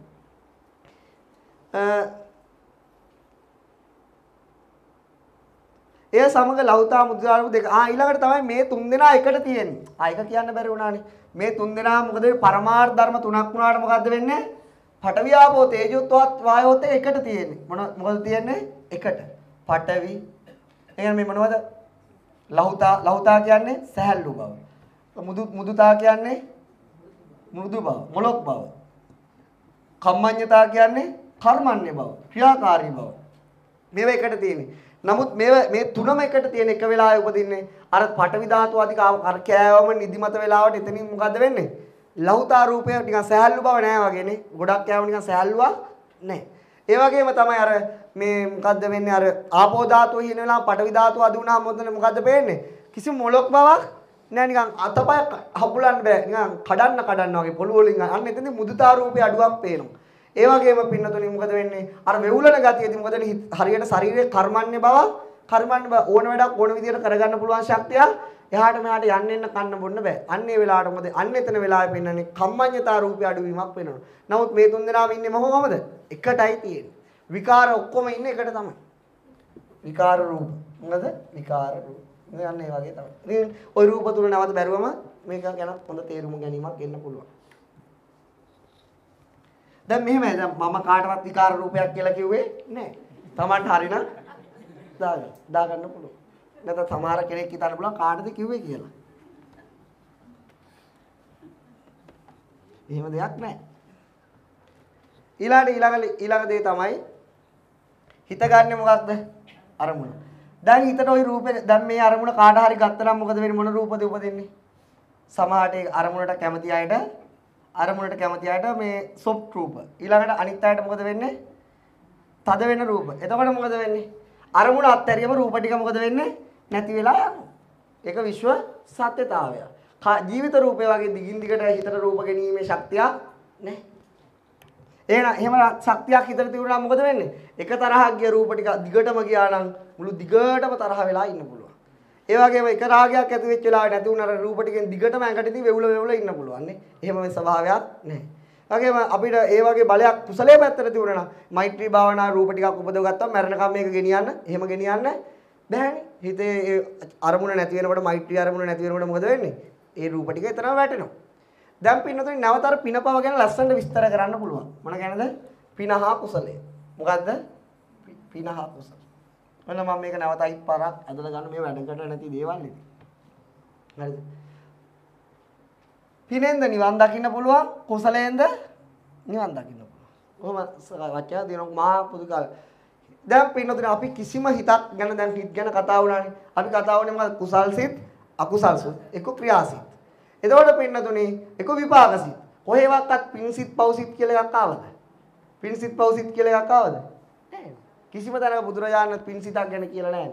පව් සිතක් ගැන කියලා නැහැ. හැබැයි මෙහෙම කියලා නැද්ද? හදේ පුනාතීති පුන්නම්. හදවතේ ඇති වෙන යහපත් සතුටට තමයි පින කියලා කිය- පව කියලා කියන්නේ මොකද්ද? හදවතේ ඇති වෙන අයහපත් සතුට. ඇයි ඒකම කිව්වේ? අන්න බලන්න. දැන් අපි දන්නවා කුසල කුසල සිතක කුසල සිතක් උපදිනවා මොන සිතක්ද? කුසල සිතක් ඉපදුනා මේ වෙලාවේ චිත්තසංතානෙ මොකද වෙන්නේ? සැනසෙල්ලක් ඊළඟේ පිනායාමක් ඒ මොකද්ද? ඊළඟට හරි පහසුවක් චිත්තසං. ඒතකොට අනාගත විපාකය මොකද්ද? විපාකය කියන්නේ සැප විපාකයක්, ඉෂ්ඨකාන්තයි, ප්‍රියමනාපයි. ප්‍රියමනාපයි. එතකොට එතකොට පින්නතේ දැන් මෙයා උපදින්නේ මො- මේ හිත මේ මේ සිත් උපදින්නේ කොහෙද? වස්තු ප්‍රසාදය මත එතකොට මෙන්න මේ ශරීරයට දෙන රූප ටිකේ මේ චිත්තයේ කුසල අරමුණ හරහා ලැබෙන කුසල සිතක් උපදින නම් මොන අරමුණක්ද ගන්න ඕන නම් මෙයා මට කුසල සිතක් උපදින නම් මොන අරමුණක්ද ගන්න ඕන? කොහෙද අම්මයි වැඩ රැයට වැඩ කරාද? මොන සිතක්ද? කුසල ආරම්මණය. හ්ම්? කුසල ආරම්මණය. මොන සිතක්ද ගන්න ඕන? කුසල අරමුණ. එතකොට ඒකේ සිතෙන් දැන් රූ- ඒ හිතට ඒ හිත වලට පුළුවන් රූප බී ගන්න. එතකොට ඒ ශරීරයට ලැබෙන රූප සැපදායක රූපද ගින්දර වගේ රූපද? සැපදායක රූප. මොන රූපද? එහෙනම් පින්නොතින් බලන්න හදේ පුනාති නිපුණ හදවතේ ඇති වෙන යහපත් සතුටටයි පින කියලා කියන්නේ. එතකොට මොකක්ද දැන් හදවතට යහපතක් නෙවෙයිද? යහපතක්. ශරීරයට යහපතක් නෙවෙයිද? යහපත මුල් සිලින්ම යහපත වෙන්නේ හදවතට වස්තු ප්‍රසාදයේ මතට. එතකොට පින්නතුනේ ඒ බිහි කරන රූප වලට රූප ස්වභාවය මේකට තමයි මේ පින කියලා කියන්නේ. හදවතින් පිනා යනවා. සහැල්ලුවකටපත් වෙනවා. මුදුතාවකටපත් වෙනවා. කම්මඤ්ඤතාවයකටපත් වෙනවා. ලහුතාවකට ලහුතා මුදිතා කම්මඤ්ඤතා කියලා රූපක් තියෙනවා කුසල පක්ෂේ. එමේ චිත්ත චෛතසිකක් තියෙනවා. එතකොට පින්නතුනි මොකද වෙන්නේ? අන්න ඒක නිසා කුසල සිතකට පුළුවන් මොකද වෙන්නේ? කුසල සිතකට පුළුවන් ලස්සන රූප බිහි කරන්න. අන්නේ ඒ කුසල සිත සිත නෙවෙයි හැබැයි රූප කියන්නේ. සිතෙන් බිහි කරන දායාදය. අම්මා නෙවෙයිනේ දරුවෝ කියලා කියන්නේ. අම්මට කියන්නේ අම්මා කියලා. දරුවන්ට කියන්නේ හැබැයි දරුවෝ බිහි කරන්නේ කවුද? අම්මා. දරුවෝ බිහි කරන කෙනාට අම්මා කියන්නේ. ඒ වගේම තමයි අම්මා වගේ තමයි හිත. දරුවා වගේ තමයි මොකද ඒ ඇති වෙන සහැල්ලු රූප කොට. ඒ වගේ පින්නතුනේ සහැල්ලු රූප කොටට තමයි පින කියලා කියන්නේ. මොකක්ද කියලාද කියන්නේ? පින කියලා කියන්නේ ඒ ඇති වෙන සිතේ ස්වභාවයට තමයි මොකද්ද කියන්නේ? කුසල සිතක් කියලා කියන්නේ. එතකොට පින්නතුනි ওই දෙක වෙන් කරන්න බෑ. දැන් අපි දන්නවා පහනක් පත්තු කරාට පස්සේ මොකද්ද වෙන්නේ? පහනක් පත්තු කරාට පස්සේ එකක් තමයි මොකද වැටිය නිසා පහන් දැල්ල තියෙනවා. දැල්ල විතරක් නෙවෙයිනේ මේකේ තියෙන්නේ. දැල්ල නිසා තාම මොකද වෙන්නේ? ආලෝකය තියෙනවා. ආල් ආලෝකය පැතිරෙනවනේ. එතකොට මේ දැල්ල නිසානේ ආලෝකය පැතිරෙන්නේ. දැල්ල නැති වුණොත් ආලෝකයනේ. එහෙනම් පින්නතුනි කුසල සිත නැති වුණොත් ඊතර සතුටක් නැහැ. එහෙනම් පින හා කුසලයේ කියන එක Tamanට දැන් තේරෙන්න ඕන. ඒක නිසා තමයි මම ඉස්සෙල්ල කිව්වේ වට්ටක්ක පතෝලේ sorry මොකද වැටකොළු පතෝල එක කෑවත් හොඳයි පතෝල වැටකොළු එක කෑවයි කියලා තවුලා නැහැ කියලා. මේ දෙකේම තියෙන මොකද එකම එහෙනම් කුසල් සිත කුසල් සිතක් දිනුන මේක පින කාට හරි පින් කරන්න ඕන නම් මොකද කරන්න තියෙන්නේ දන් දෙන්න ඕන. සිල් රකින්න ඕන භාවනා කරන්න ඕන. ඒකරයි අනිත් පැත්තට මොකද්ද වෙලා තියෙන්නේ පින් කරනවායි කියලා කුසල් සිත් පහළ වෙනවා. කවුරු හරි කුසල් කරනවායි කියලා මොකද්ද කරන්න ඕන? එක්ක දන් දෙන්න ඕන, එක්ක සිල් රකින්න කරනවා, එක්ක භාවනා කරන්න ඕන. ඒකයි දන් දීලා සතුටු වෙන්නේ නැද්ද? සතුටු වෙනවනේ දැන් අපි ගිහින් කොහොම මුස්ලිම් අපිත් දන් දුන්නේ. එතකොට එතකොට කු- සිතේ රූපවල අඩුවක් තියෙනවා. නමුත් ඉතින් ස- පිනේ අඩුවක් පිනේ අඩුවක් තියෙනවා. කුසලයේත් අඩුවක් තියෙනවා. විපාක ශක්තිය අඩුවක් තියුණාට ඒක අකුසලයක් නෙවෙයි. අකුසලයක් නෙවෙයි. දැන් පින ගැන දන්න කෙනාට මොකද වෙන්නේ? නිතර නිතර පින ගැන දන්න කෙනාට දන් දීම අරමුණු කරලා නිතර නිතර ඒකෙන් සතුටු වෙන්න පුළුවන් නේ. ඉද නන්දති පෙච්ච නන්දති. කත පුඤ්ඤෝ උභයත්ත නන්දති. ඒ කියන්නේ කර්ම කර්ම ඵලයේ විශ්වාස කරන කෙනා දන් දීප ගැන එයා සතුටු වෙනවා. එයා කරපු පින ගැන එයා සතුට වෙනවා මෙලොවත් සතුට වෙනවා පරලොවත් සැප විපාක ලබා දෙනවන්න පරලොවත් ඒ සැප විපාක ලබා ගන්න දේ දැනගන්නේ මොකද සිතකින්නේ විපාක සිත් පහළ වෙන වෙලාවට යාගේ නැවත උපදින රූප මොකද වෙන්නේ සහැල්ලුයි මුදුයි කර්මන්නේ ඒ වගේ තමයි ආ අකුසල සිතක් ගත්තොත් ඉතින් නාක් බලව අකුසල සිතක් ගත්තොත් ඉතින්. අපි ඔන්න පහළ වෙනවා මොකද? දේශය පහළ වෙනවා ලැජ්ජාව ආකාරයෙන්. අනිත් විදිහට පහළ වෙනවා බය ආකාරයෙන්. අනිත් විදිහට පහළ වෙනවා පිළිකුල් ආකාරයෙන්. අනිත් විදිහට පහළ වෙනවා නොසතුටු ආකාරයෙන්. අනිත් විදිහට පහළ වෙනවා කනගාටු ආකාරයෙන්. මේ කොහොම පහළ වුණත් මේ කවුද? අරමුණට විරුද්ධ වන ස්වභාවය දේශය. දේශය. මේ ධර්ම ඉගැන්වීමකදී වුණා මට දේශය පහළ වෙන්න බැරිද?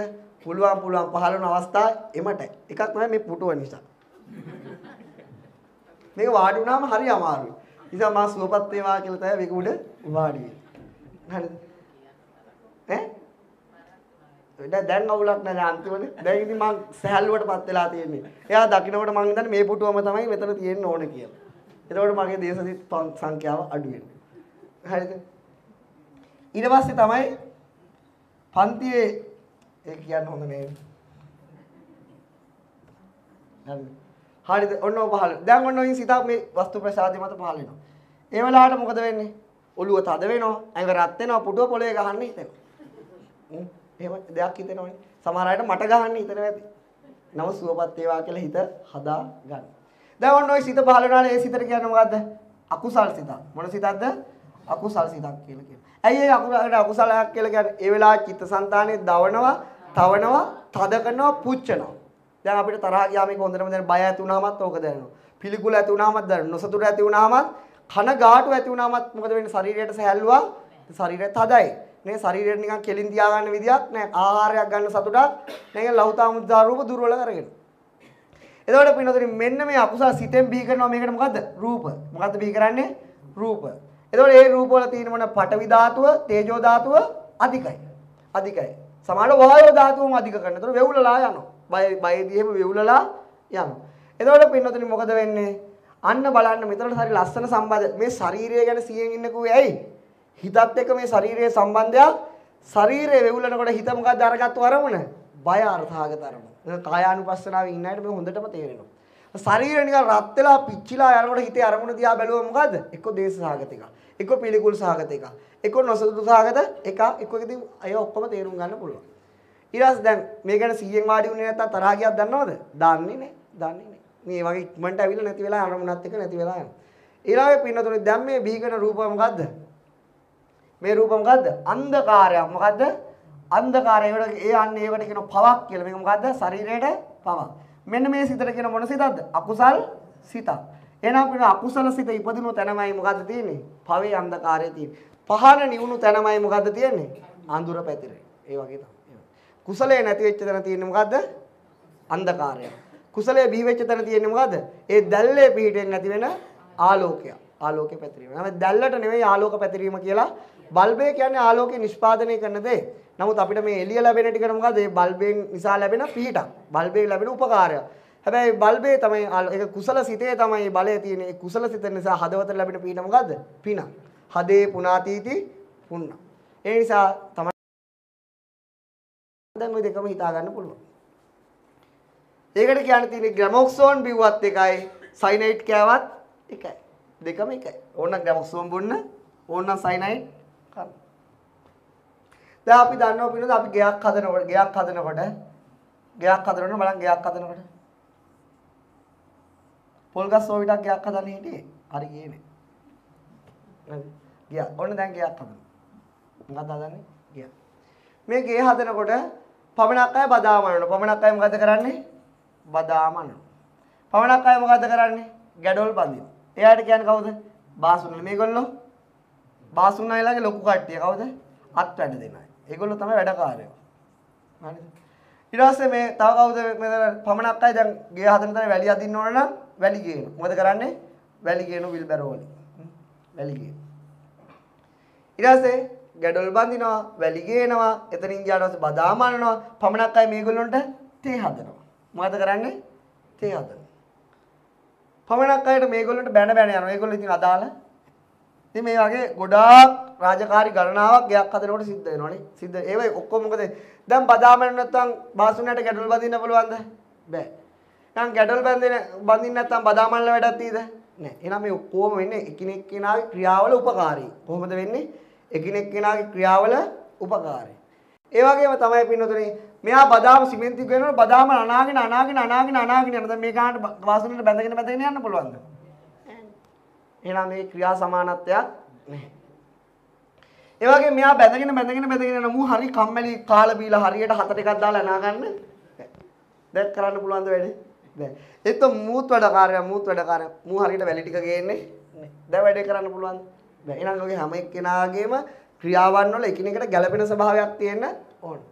ඔය ගාමන්ට් වල ගාමන්ට් එකක් ගත්තොත් ඔය ඇවිල්ලා ගයක් හදන එක. ඊට පස්සේ ගාමන්ට් එකක් ගත්තොත් මම නම් වෙලාවට ඔකට ගියේ නෑ. ඔක විතරයි කරන්න බැරුණු ජොබ් එකකට තියෙන්නේ. අනිත ඔක්කොම කරලා තියෙනවා. ඊට පස්සේ ගාමන්ට් අපේ පැත්තේ තියෙන යන්න උනේ නෑ. මෙන්න මේක කියනවා මට ගියපු අය කියලා තියෙනවා. මේකේ තියෙනවා මේ සුපර්වයිසර්ලා ඉන්න කවුද? සුපර්වයිස් කරන අය. ඉතින් මෙයා දෙන්න ඕන මේ ටාගට් ටාගට් දෙනවා මේ ළමයින්ට මොනවද දෙන්නේ? තා ඉන්දි කට්ටක් කැඩුණොත් ඉවරයි. බැනගෙන බැනගෙන යනවා. ඉතින් අපි කියන ඉතින් අපිට අපිට එළියේදී කියන්න කවුද බැන්නේ සුපර්වයිසර් කියලා. හ්ම්. ඉතින් මේ වගේ දැන් මේ වගේ මොකද ඉතින් දැන් එක ළමයෙක් ඉන්දි අලුතෙන් ආපු ළමයෙක් ඉන්දි කට්ටක් කැඩුණා මොකද වෙන්නේ? අර ඔක්කොම ඉවරයි. මොකද වෙන්නේ? ඔක්කොම બ્લોක් වෙනවා කියනවා නේ. හ්ම් ටාගට් එක දෙන්න බැරි වෙලා යනවා. ඉතින් මොකද වෙන්නේ මේ සුපර්වයිසර් මේ ළමයින්ට බයිනවා. එහෙනම් මොකද වෙන්නේ? දැන් ටාගට් එක හරියට දෙන්න නම් මොකද වෙන්නේ? ඔක්කොම හරියට මහන්න ඕන. එක එක් වැඩ කරොත් ඉවරයි. හමුදාවෙදිත් ඉතින් ඔහොමම තමයි. එක එක් යට බින්දොත් ඔක්කොටම ගුටි කන්න ඒ වගේ තමයි. ඉතින් ඔන්න ඔය ඔය ආකාරයට පින්නතුනේ ඒ වැඩේදී හරියට එකිනෙක කෙනාගේ කාර්ය හරි හරි වෙලාවකට කරේ නැති වුණොත් මොකද වෙන්නේ? හරියට සුපර්වයිසරයක් උන් නැති වුණොත් මොකද වෙන්නේ? ඒ වැඩේ හරියට කරන්න බෑ. ඉතින් අන්න ඒ වගේ ස්වභාවයක් තියෙන හිතේ. හිත ගන්න මොකක්ද පින්නතුනේ? අරමුණක්. නෙමෙයි තවත් පරමාර්ථ ධර්මයක්. හිත ගන්න මොකද්ද? අරමුණ. එතකොට පින්නතුනි ඒ අරමුණක් ගන්න හිත අරමුණක් ගන්නකොට හිතත් එක්ක උපදින චෛතසික හතර මොනවද? පස්ස, වේදනා, සංඥා, චේතනා, ඒකාග්‍රතා, ජීවිතේන්ද්‍රය, මනසිකාර. ඕක තමයි හතර. ওই හතර ඒ අරමුණේ වැටෙන්න දෙන්නේ නැති ස්වභාවයට කියන්නේ මොකද්ද? වීරය. වීරය. ඒ අරමුණේ ප්‍රීතිය උපදවන්නේ කවුද? ප්‍රීතිය. ඒ අරමුණට පින්නතුනේ කැමැත්ත ප්‍රකාශ කරන්නේ කවුද? ඡන්දය. ඒ අරමුණ කල්පනාවට ගෙනියන්නේ කවුද? විතක්ක, ਵਿਚාර. ඒ අරමුණ විනිශ්චය කරන්නේ කවුද? අදිමෝක්ෂය. මොන ඒක හය දිනක් පහළ වෙනවා. එතකොට පින්නතුනේ මේ අරමුණ කුසල අරමුණ නම් අනිවාර්ය චෛතසික සිටිවිලි කීයක් උපදිනවද? කුසල අරමුණ නම් කීයක් උපදිනවද? 25. බුදුහාම මොහිමනාම ආරෂ්ඨාංග මාර්ගය එකපාර ආවා. 19 කීයක් උපදිනවද? 19ක් උපදිනවා. පළවෙනිම චෛතසික පළවෙනි තැන දෙන්නේ කාටද? උපදින්න එකට පළවෙනි තැන දෙන්නේ කාටද? කාටද දෙන්නේ? සද්ධාව. කවුද? සද්ධා. එයා සද්ධාව කියලා කියන්නේ මොකද්ද? තුනුරුවන් කෙරෙහි පැහැදීම නැත්නම් විශ්ව ධර්මතාවය කෙරෙහි පැහැ සද්ධාව. සද්ධාවත් එක්ක උපදින අනිත් කියා දුන්නේ කවුද? ලැජ්ජාව, බය. බය. ඊළඟට උපදිනවා කවුද? මොකද්ද? සතිය. සතිය කියන්නේ මොකද්ද? කුසල් සිතක මතක් කරවන ස්වභාවය. සතිය. සති. සති තේසන් නිවාරණ. ඊළඟට පින්නතේ මොකද්ද උපදින්නේ? ඊළඟට අලෝභය. මොකද්ද? අලෝභ. මෙයා ගැන පොඩ්ඩක් දැන් කියන්න ඕනේ චෛත්‍ය හදන නිසා. ඒ නිසානේ මෙයා ගැන කියා දෙන්න බැරි වෙච්ච ටිකක් තියෙනවා. ඊළඟට උපදිනවා කවුද? අද්වේෂය. අද්වේෂය කියන්නේ මෛත්‍රිය. ඊළඟට උපදිනවා මොකද්ද? සහැල්ලු බව. සිතේ සහැල්ලු බව මොකද්ද? චිත්තපස්සද්ධිය. චෛතසික වල සහැල්ලු බව කාය පස්සද්ධිය. පස්සද්ධි දෙක උපදිනවා. චිත්තපස්සද්ධිය. දැන් බලන්න ශරීරයේ සහැල්ලු බව මොකද්ද? ශරීරයේ සහැල්ලු බව නෙවෙයිනේ. ශරීරයේ සහැල්ලු බව මොකද්ද? ලහුතාරෝප. එතකොට ශරීරයේ මුදු මොලොක් බව මුදුතාරූප. ශරීරයේ කර්මන්නේ බව කම්මඤ්ඤතාරූප. එතකොට සිතේ සහැල්ලු බව ආ ඒ වගේ තමයි ඒක තාම ඉස්සරහට එනවා. පස්සද්ධිය කියන්නේ මොකද්ද බලමු පස්සද්ධිය. ආ පස්සද්ධිය කියන්නේ මොකද්ද? සංසුම් බව. ආන්න බලන්න. කාය පස්සද්ධිය කියන්නේ චෛතසිකයන්ගේ සංසුන් බව. චිත්ත පස්සද්ධිය කියන්නේ? සිතේ සංසුන් බව. චෛතසිකයන්ගේ සහැල්ලු බව සහ සිතේ සහැල්ලු බව චෛතසිකයන්ගේ සහැල්ලු බව කාය ලහුතා. සිතේ සහැල්ලු බව චිත්ත ලහුතා. කය සහැල්ලු බව ලහුතා රූප. ලහුතා රූප. සිත චෛතසිකයන්ගේ මොළොක් බව මොකද්ද? මුදුතාව. සිතේ මොළොක් බව චිත්ත මුදුතා. කයේ මොළොක් බව මුදුතා රූප. මුද රූපද මුදුතා රූප. චෛතසිකයන් ක්‍රියාවිෂය හුරු බව හා සිතේ ක්‍රියාවිෂය හුරු බව මොකද්ද? කම්මඤ්ඤතා. ඒ කියන්නේ සිත දැන් අපි දන්නවා තීන මිද්දේට ගියාට පස්සේ සිතෙන් වැඩක් කරගන්න බැහැ. සිත කර්මන්නේ සිත රෝගාතුරයි. සිත හරි බරයි. එතකොට ඒක මොකද වෙලා තියෙන්නේ? තීන මිද්දේ නිසා කාය කම්මඤ්ඤතා චිත්ත කම්මඤ්ඤතා උපදින්නේ නැන කුසල් සිත් දන් දෙන වෙලාවට සිල් රකින්න ආසාවෙන් සිල් රකින්න වෙලාවට එතනින් ගියාට පස්සේ හොඳට මොකද වෙන්නේ මේ මේ කම්මඤ්ඤතා රූප ඒ සිත හොඳ පිනා යනවා. ඒ නිසා ලෞතුරා බුදුරජාණන් වහන්සේ දේශනා කර මේ මේවම ගැන මම නැවත කියලා දෙනවා. මෙන්න මේ මෙන්න බුදුරජා පහක් නිදා ගන්නකොට පහක් අවදි වෙනවා. මොකද්ද කියන්නේ? පහක් නිදා ගන්නා විට පහක් අවදි වෙනවා. පහක් අවදි වෙනකොට පහක් නිදා ගනි. මොකද සද්ධාව විරිය සතිය සමාධි ප්‍රඥා නැගිටිනකොට නිදා ගන්නව කවුද? මොනවද නිදාගන්නේ? කාමච්ඡන්ද, ව්‍යාපාද, තීන මිද්ද, උද්ධච්ච කුක්කුච්ච, විචිකිච්ඡා. බලන්න මේ කොච්චර ලස්සන සම්බන්ධයක් තියෙද කියලා. සද්ධාවන්තයා මොකද කරන්නේ? නිරන්තර දන් දෙනවා. එතකොට මොකද වෙන්නේ? පංචකාමයන්ගේ යහතින ආසාව අඩු වෙනවද නැති වෙනවද? අඩු වෙනවා. අන්න බලන්න. නැත්නම් කාමච්ඡන්දය නින්දට යන්නේ නෝ. දන් දීම වැඩි අලෝභය වැඩි වෙන්න වැඩි වෙන්න දීම ඉවරයක්. මම මහා බෝසතාණන් වහන්සේලාගේ දන් දීම බල දීම ඉවරයක්. නේද? එතකොට යාළුවා මහා බෝසතාණන් වහන්සේ මොකද්ද නිදාගෙන තින්නේ? කාමච්ඡන්දය නින්දට ගිහිල්ලා තිබුණේ. හැබැයි අනුශේ වශයෙන් තිබුණා. ඊළඟට පින්නතර තිබුණා මොකද්ද? වීරය. එතකොට මොකද්ද? වීරය නැගිටිනකොට මොකද වෙන්නේ? තීන මිද්ද. එහෙනම් නිදිමත අලසකම නැති කළාම දාන. ඒ විතරක් නෙවෙයි සල් බලන්න. ව්‍යාපාදේ තරහ නැති වෙනවනේ. සද්දා සද්දාව කියන්නේ කුසල්සිතද අකුසල්සිතද? කුසල්සිතක උපදින චෛතසිකය.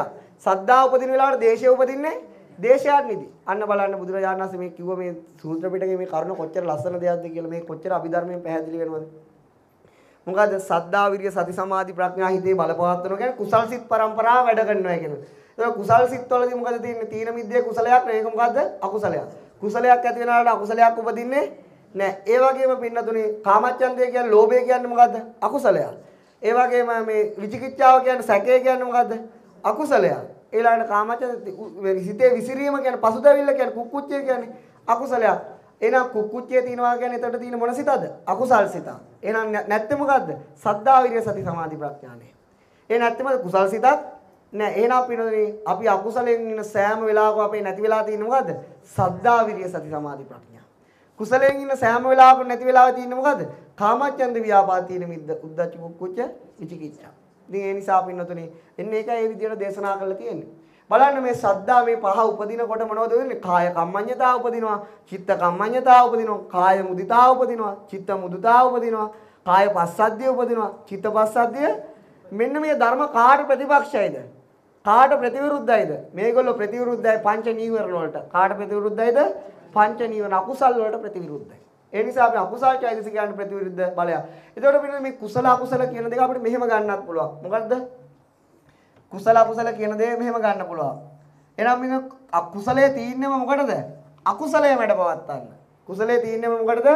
අකුසලයේ මැඩ පවත්තන්න. ඒ කියන්නේ කුසල් සිත නැති වෙනලා අකුසල් සිත නැති වෙලාට කුසල් සිත පහළ වුණාම මොකද වෙන්නේ? අකුසලයට එන්න ඉඩක් නැහැ. එහෙනම් කුසලයේද බලය වැඩි, අකුසලයේද බලය වැඩි. ඔන්න බලමු ඉස්සරහට මම දැන් පෙන්නන්නේ. ඔය తත්‍ර මඤ්ඤතා කියන එක පොඩ්ඩක් අහන්න. චිත්තචෛතසික ඒ කෘත්‍ය සිදු කරගෙන සමූහ වශයෙන් උපදින්න ඕය. ඒ කියන්නේ මොකද්ද? දැන් ඔන්න බලන්න පින්නද මේක මේ කතා ටිකත් මතක ගියක් හදන හැටි, ගාමන්ට් එක යන හැටි, හමුදාව සබලෙක් හදන මේ ටික පොඩ්ඩක් මතක තියාගන්න. ඊට පස්සේ චිත්තචෛතසිකයන් චිත්තචෛතසික ඒ කෘත්‍ය සිදු කරගෙන සමූහ වශයෙන් උපදින්න. සමූහ වශයෙන් කියන්නේ එකට උපදින්නේ. මොකටද උපදින්නේ? ඒ සමූහයක් කියන්නේ කට්ටිය කට්ටිය ගොඩකට කියන සමූහයක්. ඔව් සිතත් එක්ක සිතකට තනියෙන් උපදින්න බෑ. සිතකට තනියෙන් උපදින්න බෑ. සිත අරමුණක් ගන්නකොට සිතත් එක්ක චෛතසික සමූහයක් උපදිනවා. අනිවාර්යයෙන් උපදින සමූහය මොකද්ද? පස්ස, වේදනා, සංඥා, චේතනා, ඒකාග්‍රතා, ජීවිතේන්ද්‍රිය, මානසිකව. එතකොට ඒක කුසල සිතක් වුණොත් හෝ අකුසල සිතක් වුණොත් ඒ වෙලාවේ මොකද අනිවාර්යෙන් උපදිනවා මොකද්ද? විතක්ක ਵਿਚාර, විරිය, ප්‍රීති, ඡන්ද, අදිමෝක්ෂ. ඔය හය දෙනා කුසල සිත තමයි අදිමෝක්ෂ. ඔය හය දෙනාම උපදිනවා. එතකොට පින්නතුනි ඒ වගේම මොකද වෙන්නේ? කුසල සිතක් නම් එතන උපදිනව මොකද්ද? අර 19 උපදිනවා. මොන 19? සද්ධාව, හිරියෝතප් දෙක, ඊළඟට මොකද්ද? සතිය, අලෝභය, අද්වේෂය, කාය කම්මඤ්ඤතා, චිත්ත කම්මඤ්ඤතා, කාය පස්සද්ධි, චිත්ත පස්සද්ධි, කාය මුදිතා, චිත්ත මුදිතා, ඊළඟ කාය ලහුතා, චිත්ත ලහුතා, කාය පග්ගුඤ්ඤතා, චිත්ත පග්ගුඤ්ඤ. ඔන්න 19 උපදින. 19 උපදින. ඔන්න බලන්න 19 උපදින. ওই 19 උපදින. ඕක කටපාඩම් කරන්න දෙයක් නෑ. මට කටපාඩම් නැත්තම් ලැප් එකෙන් බැලුවා මෙතනින් බැලුවා. හරි කටපාඩම් කරන්න මාසෙ වෙන ඕනේ නැහැ. කටපාඩම් වුණා නම් මොකද වෙන්නේ? වොන්ඩර්ෆුල්. නැත්නම් අමේසින්. හරිද? දැන් මේ දැන් බලන්න සිතත් එක්ක චෛතසික මොකද වෙන්නේ? සමුහ වශයෙන් ඉපදිලා මොන වශයෙන් ඉපදිලා තියෙන්නේ? සමූහයක් ඉපදිලා තියෙනවා. මෙන්න මෙහෙම. එතකොට පින්නතුනේ මේ චිත්- මේක හොඳට මතක තියාගන්න. දැන් හිතේ කාර්යය මොකද්ද? අරමුණ ගැනීම. වේදනාවේ කාර්යය මොකද්ද? අරමුණ විඳීම. සංඥාවේ කාර්යය මොකද්ද? අරමුණ හඳුනා ගැනීම. චේතනාවේ කාර්ය අරමුණට ක්‍රියාත්මක වීම. ඊළඟට මොකද? ඒකාග්‍රත අරමුණ එකඟ කර ගැනීම. එතකොට විතක්ක ਵਿਚාරයේ කාර්යය මොකද්ද? කල්පනාවකට යෑම. ප්‍රීතියේ කාර්යය මොකද්ද? පිනා යෑම. ඒ පස්වන ප්‍රීතියක් කියා දුන්නා. ඊළඟට පිළිවෙල ඡන්දයේ කැම- කාර්යය මොකද්ද? කැමැත්ත ප්‍රකාශ කිරීම. සද්ධාවේ කාර්යය මොකද්ද? අරමුණට පැහැදීම.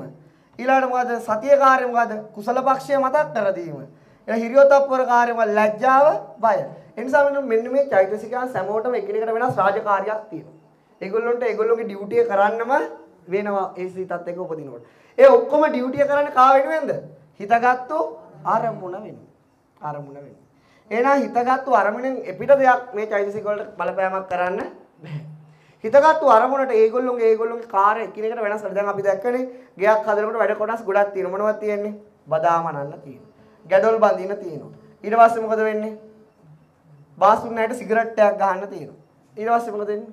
ඊළඟට මොකද වෙන්නේ? වතුර ගේන්න ඕන, වතුර බටෙන් වතුර ටික ගේන්න ඕන. වැලි ටික ගේන්න ඕන. එතනින් පස්සේ මොකද වෙන්නේ? හරියට බැඳලාද කියලා මේක බලන්න ඕන. ඇදේට බැඳලා කපරාදුව ගහලා කියොත් ඕව බලන්නත් ඕන.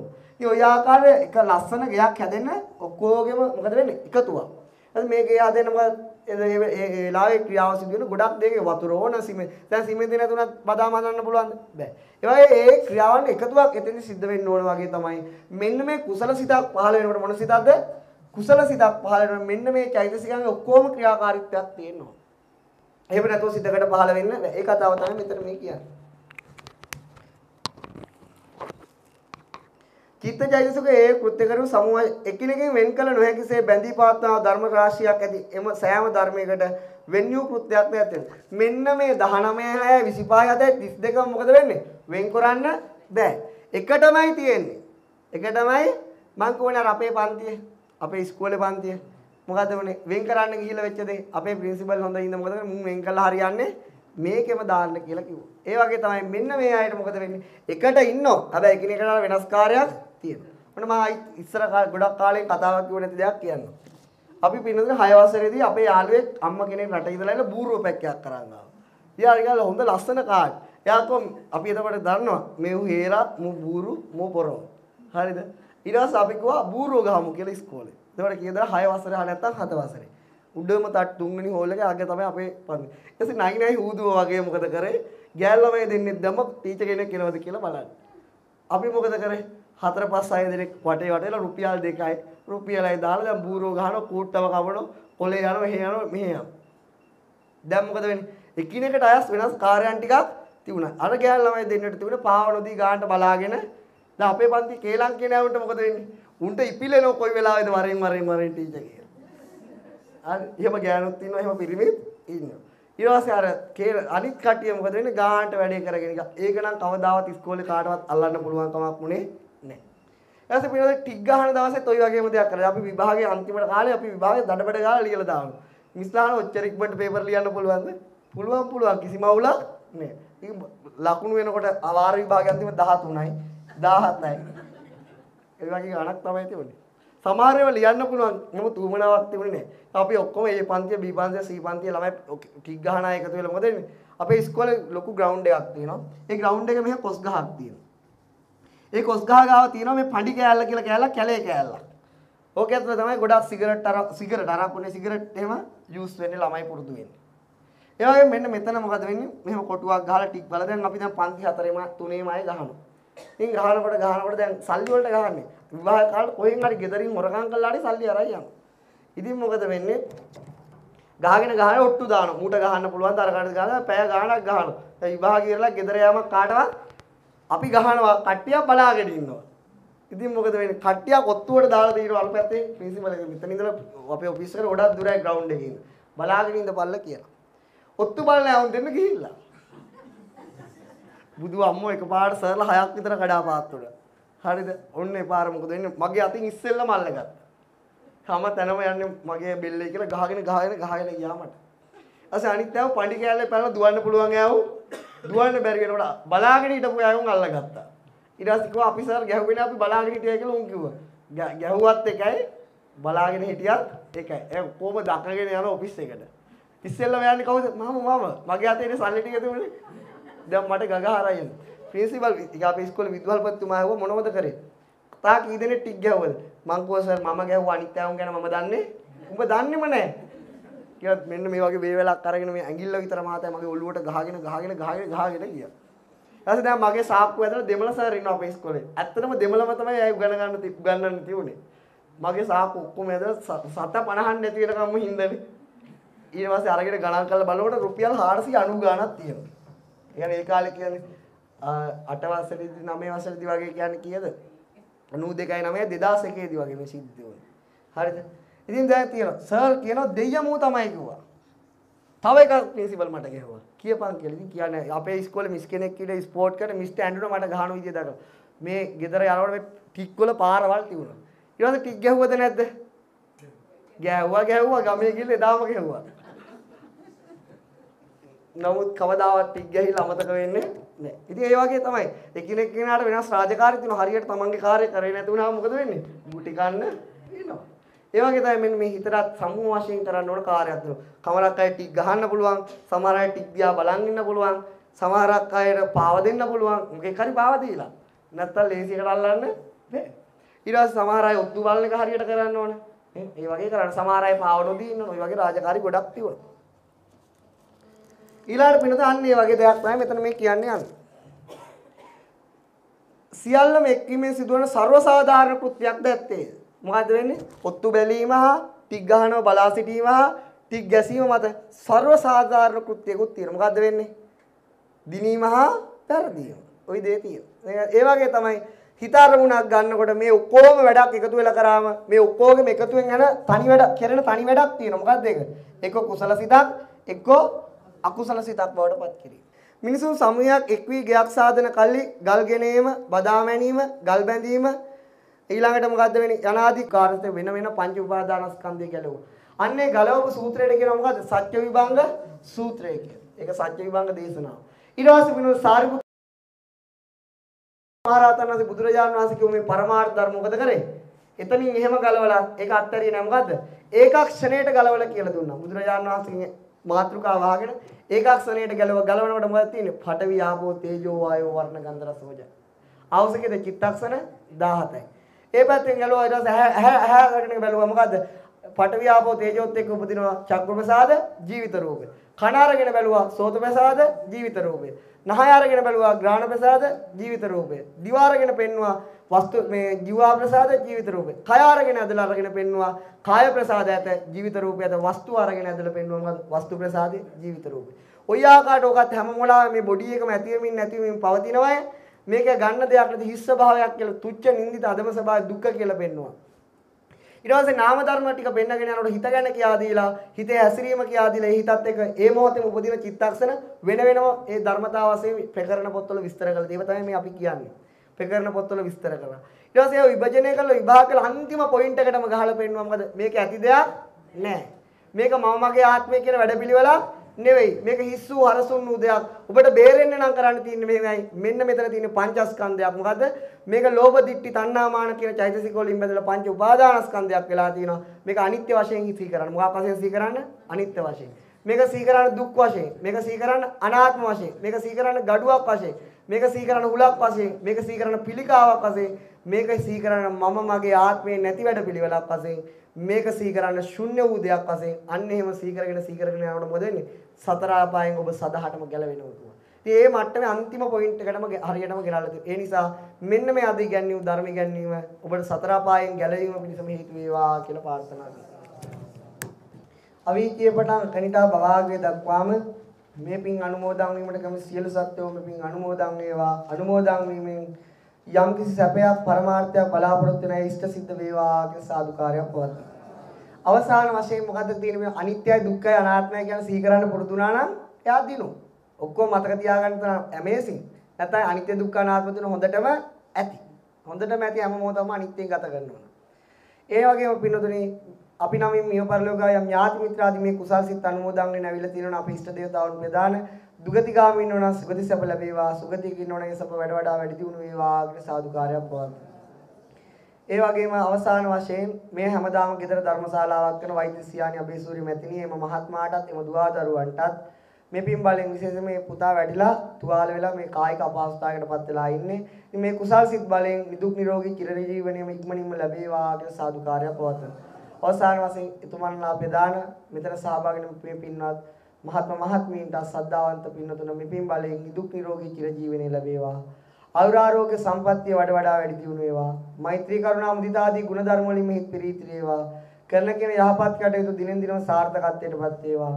ධාර්මික දෙවියන්ගේ රැකවරණයේ ආශිර්වාදය ලැබේවා. බුදුවරුන්ගේ නගරයට, පසේ බුදුවරුන්ගේ නගරයට, රහතුන්ගේ නගරයට යන අනිත්‍ය දුක්ඛ අනාත්ම ත්‍රිලක්ෂණය සිහි කළා.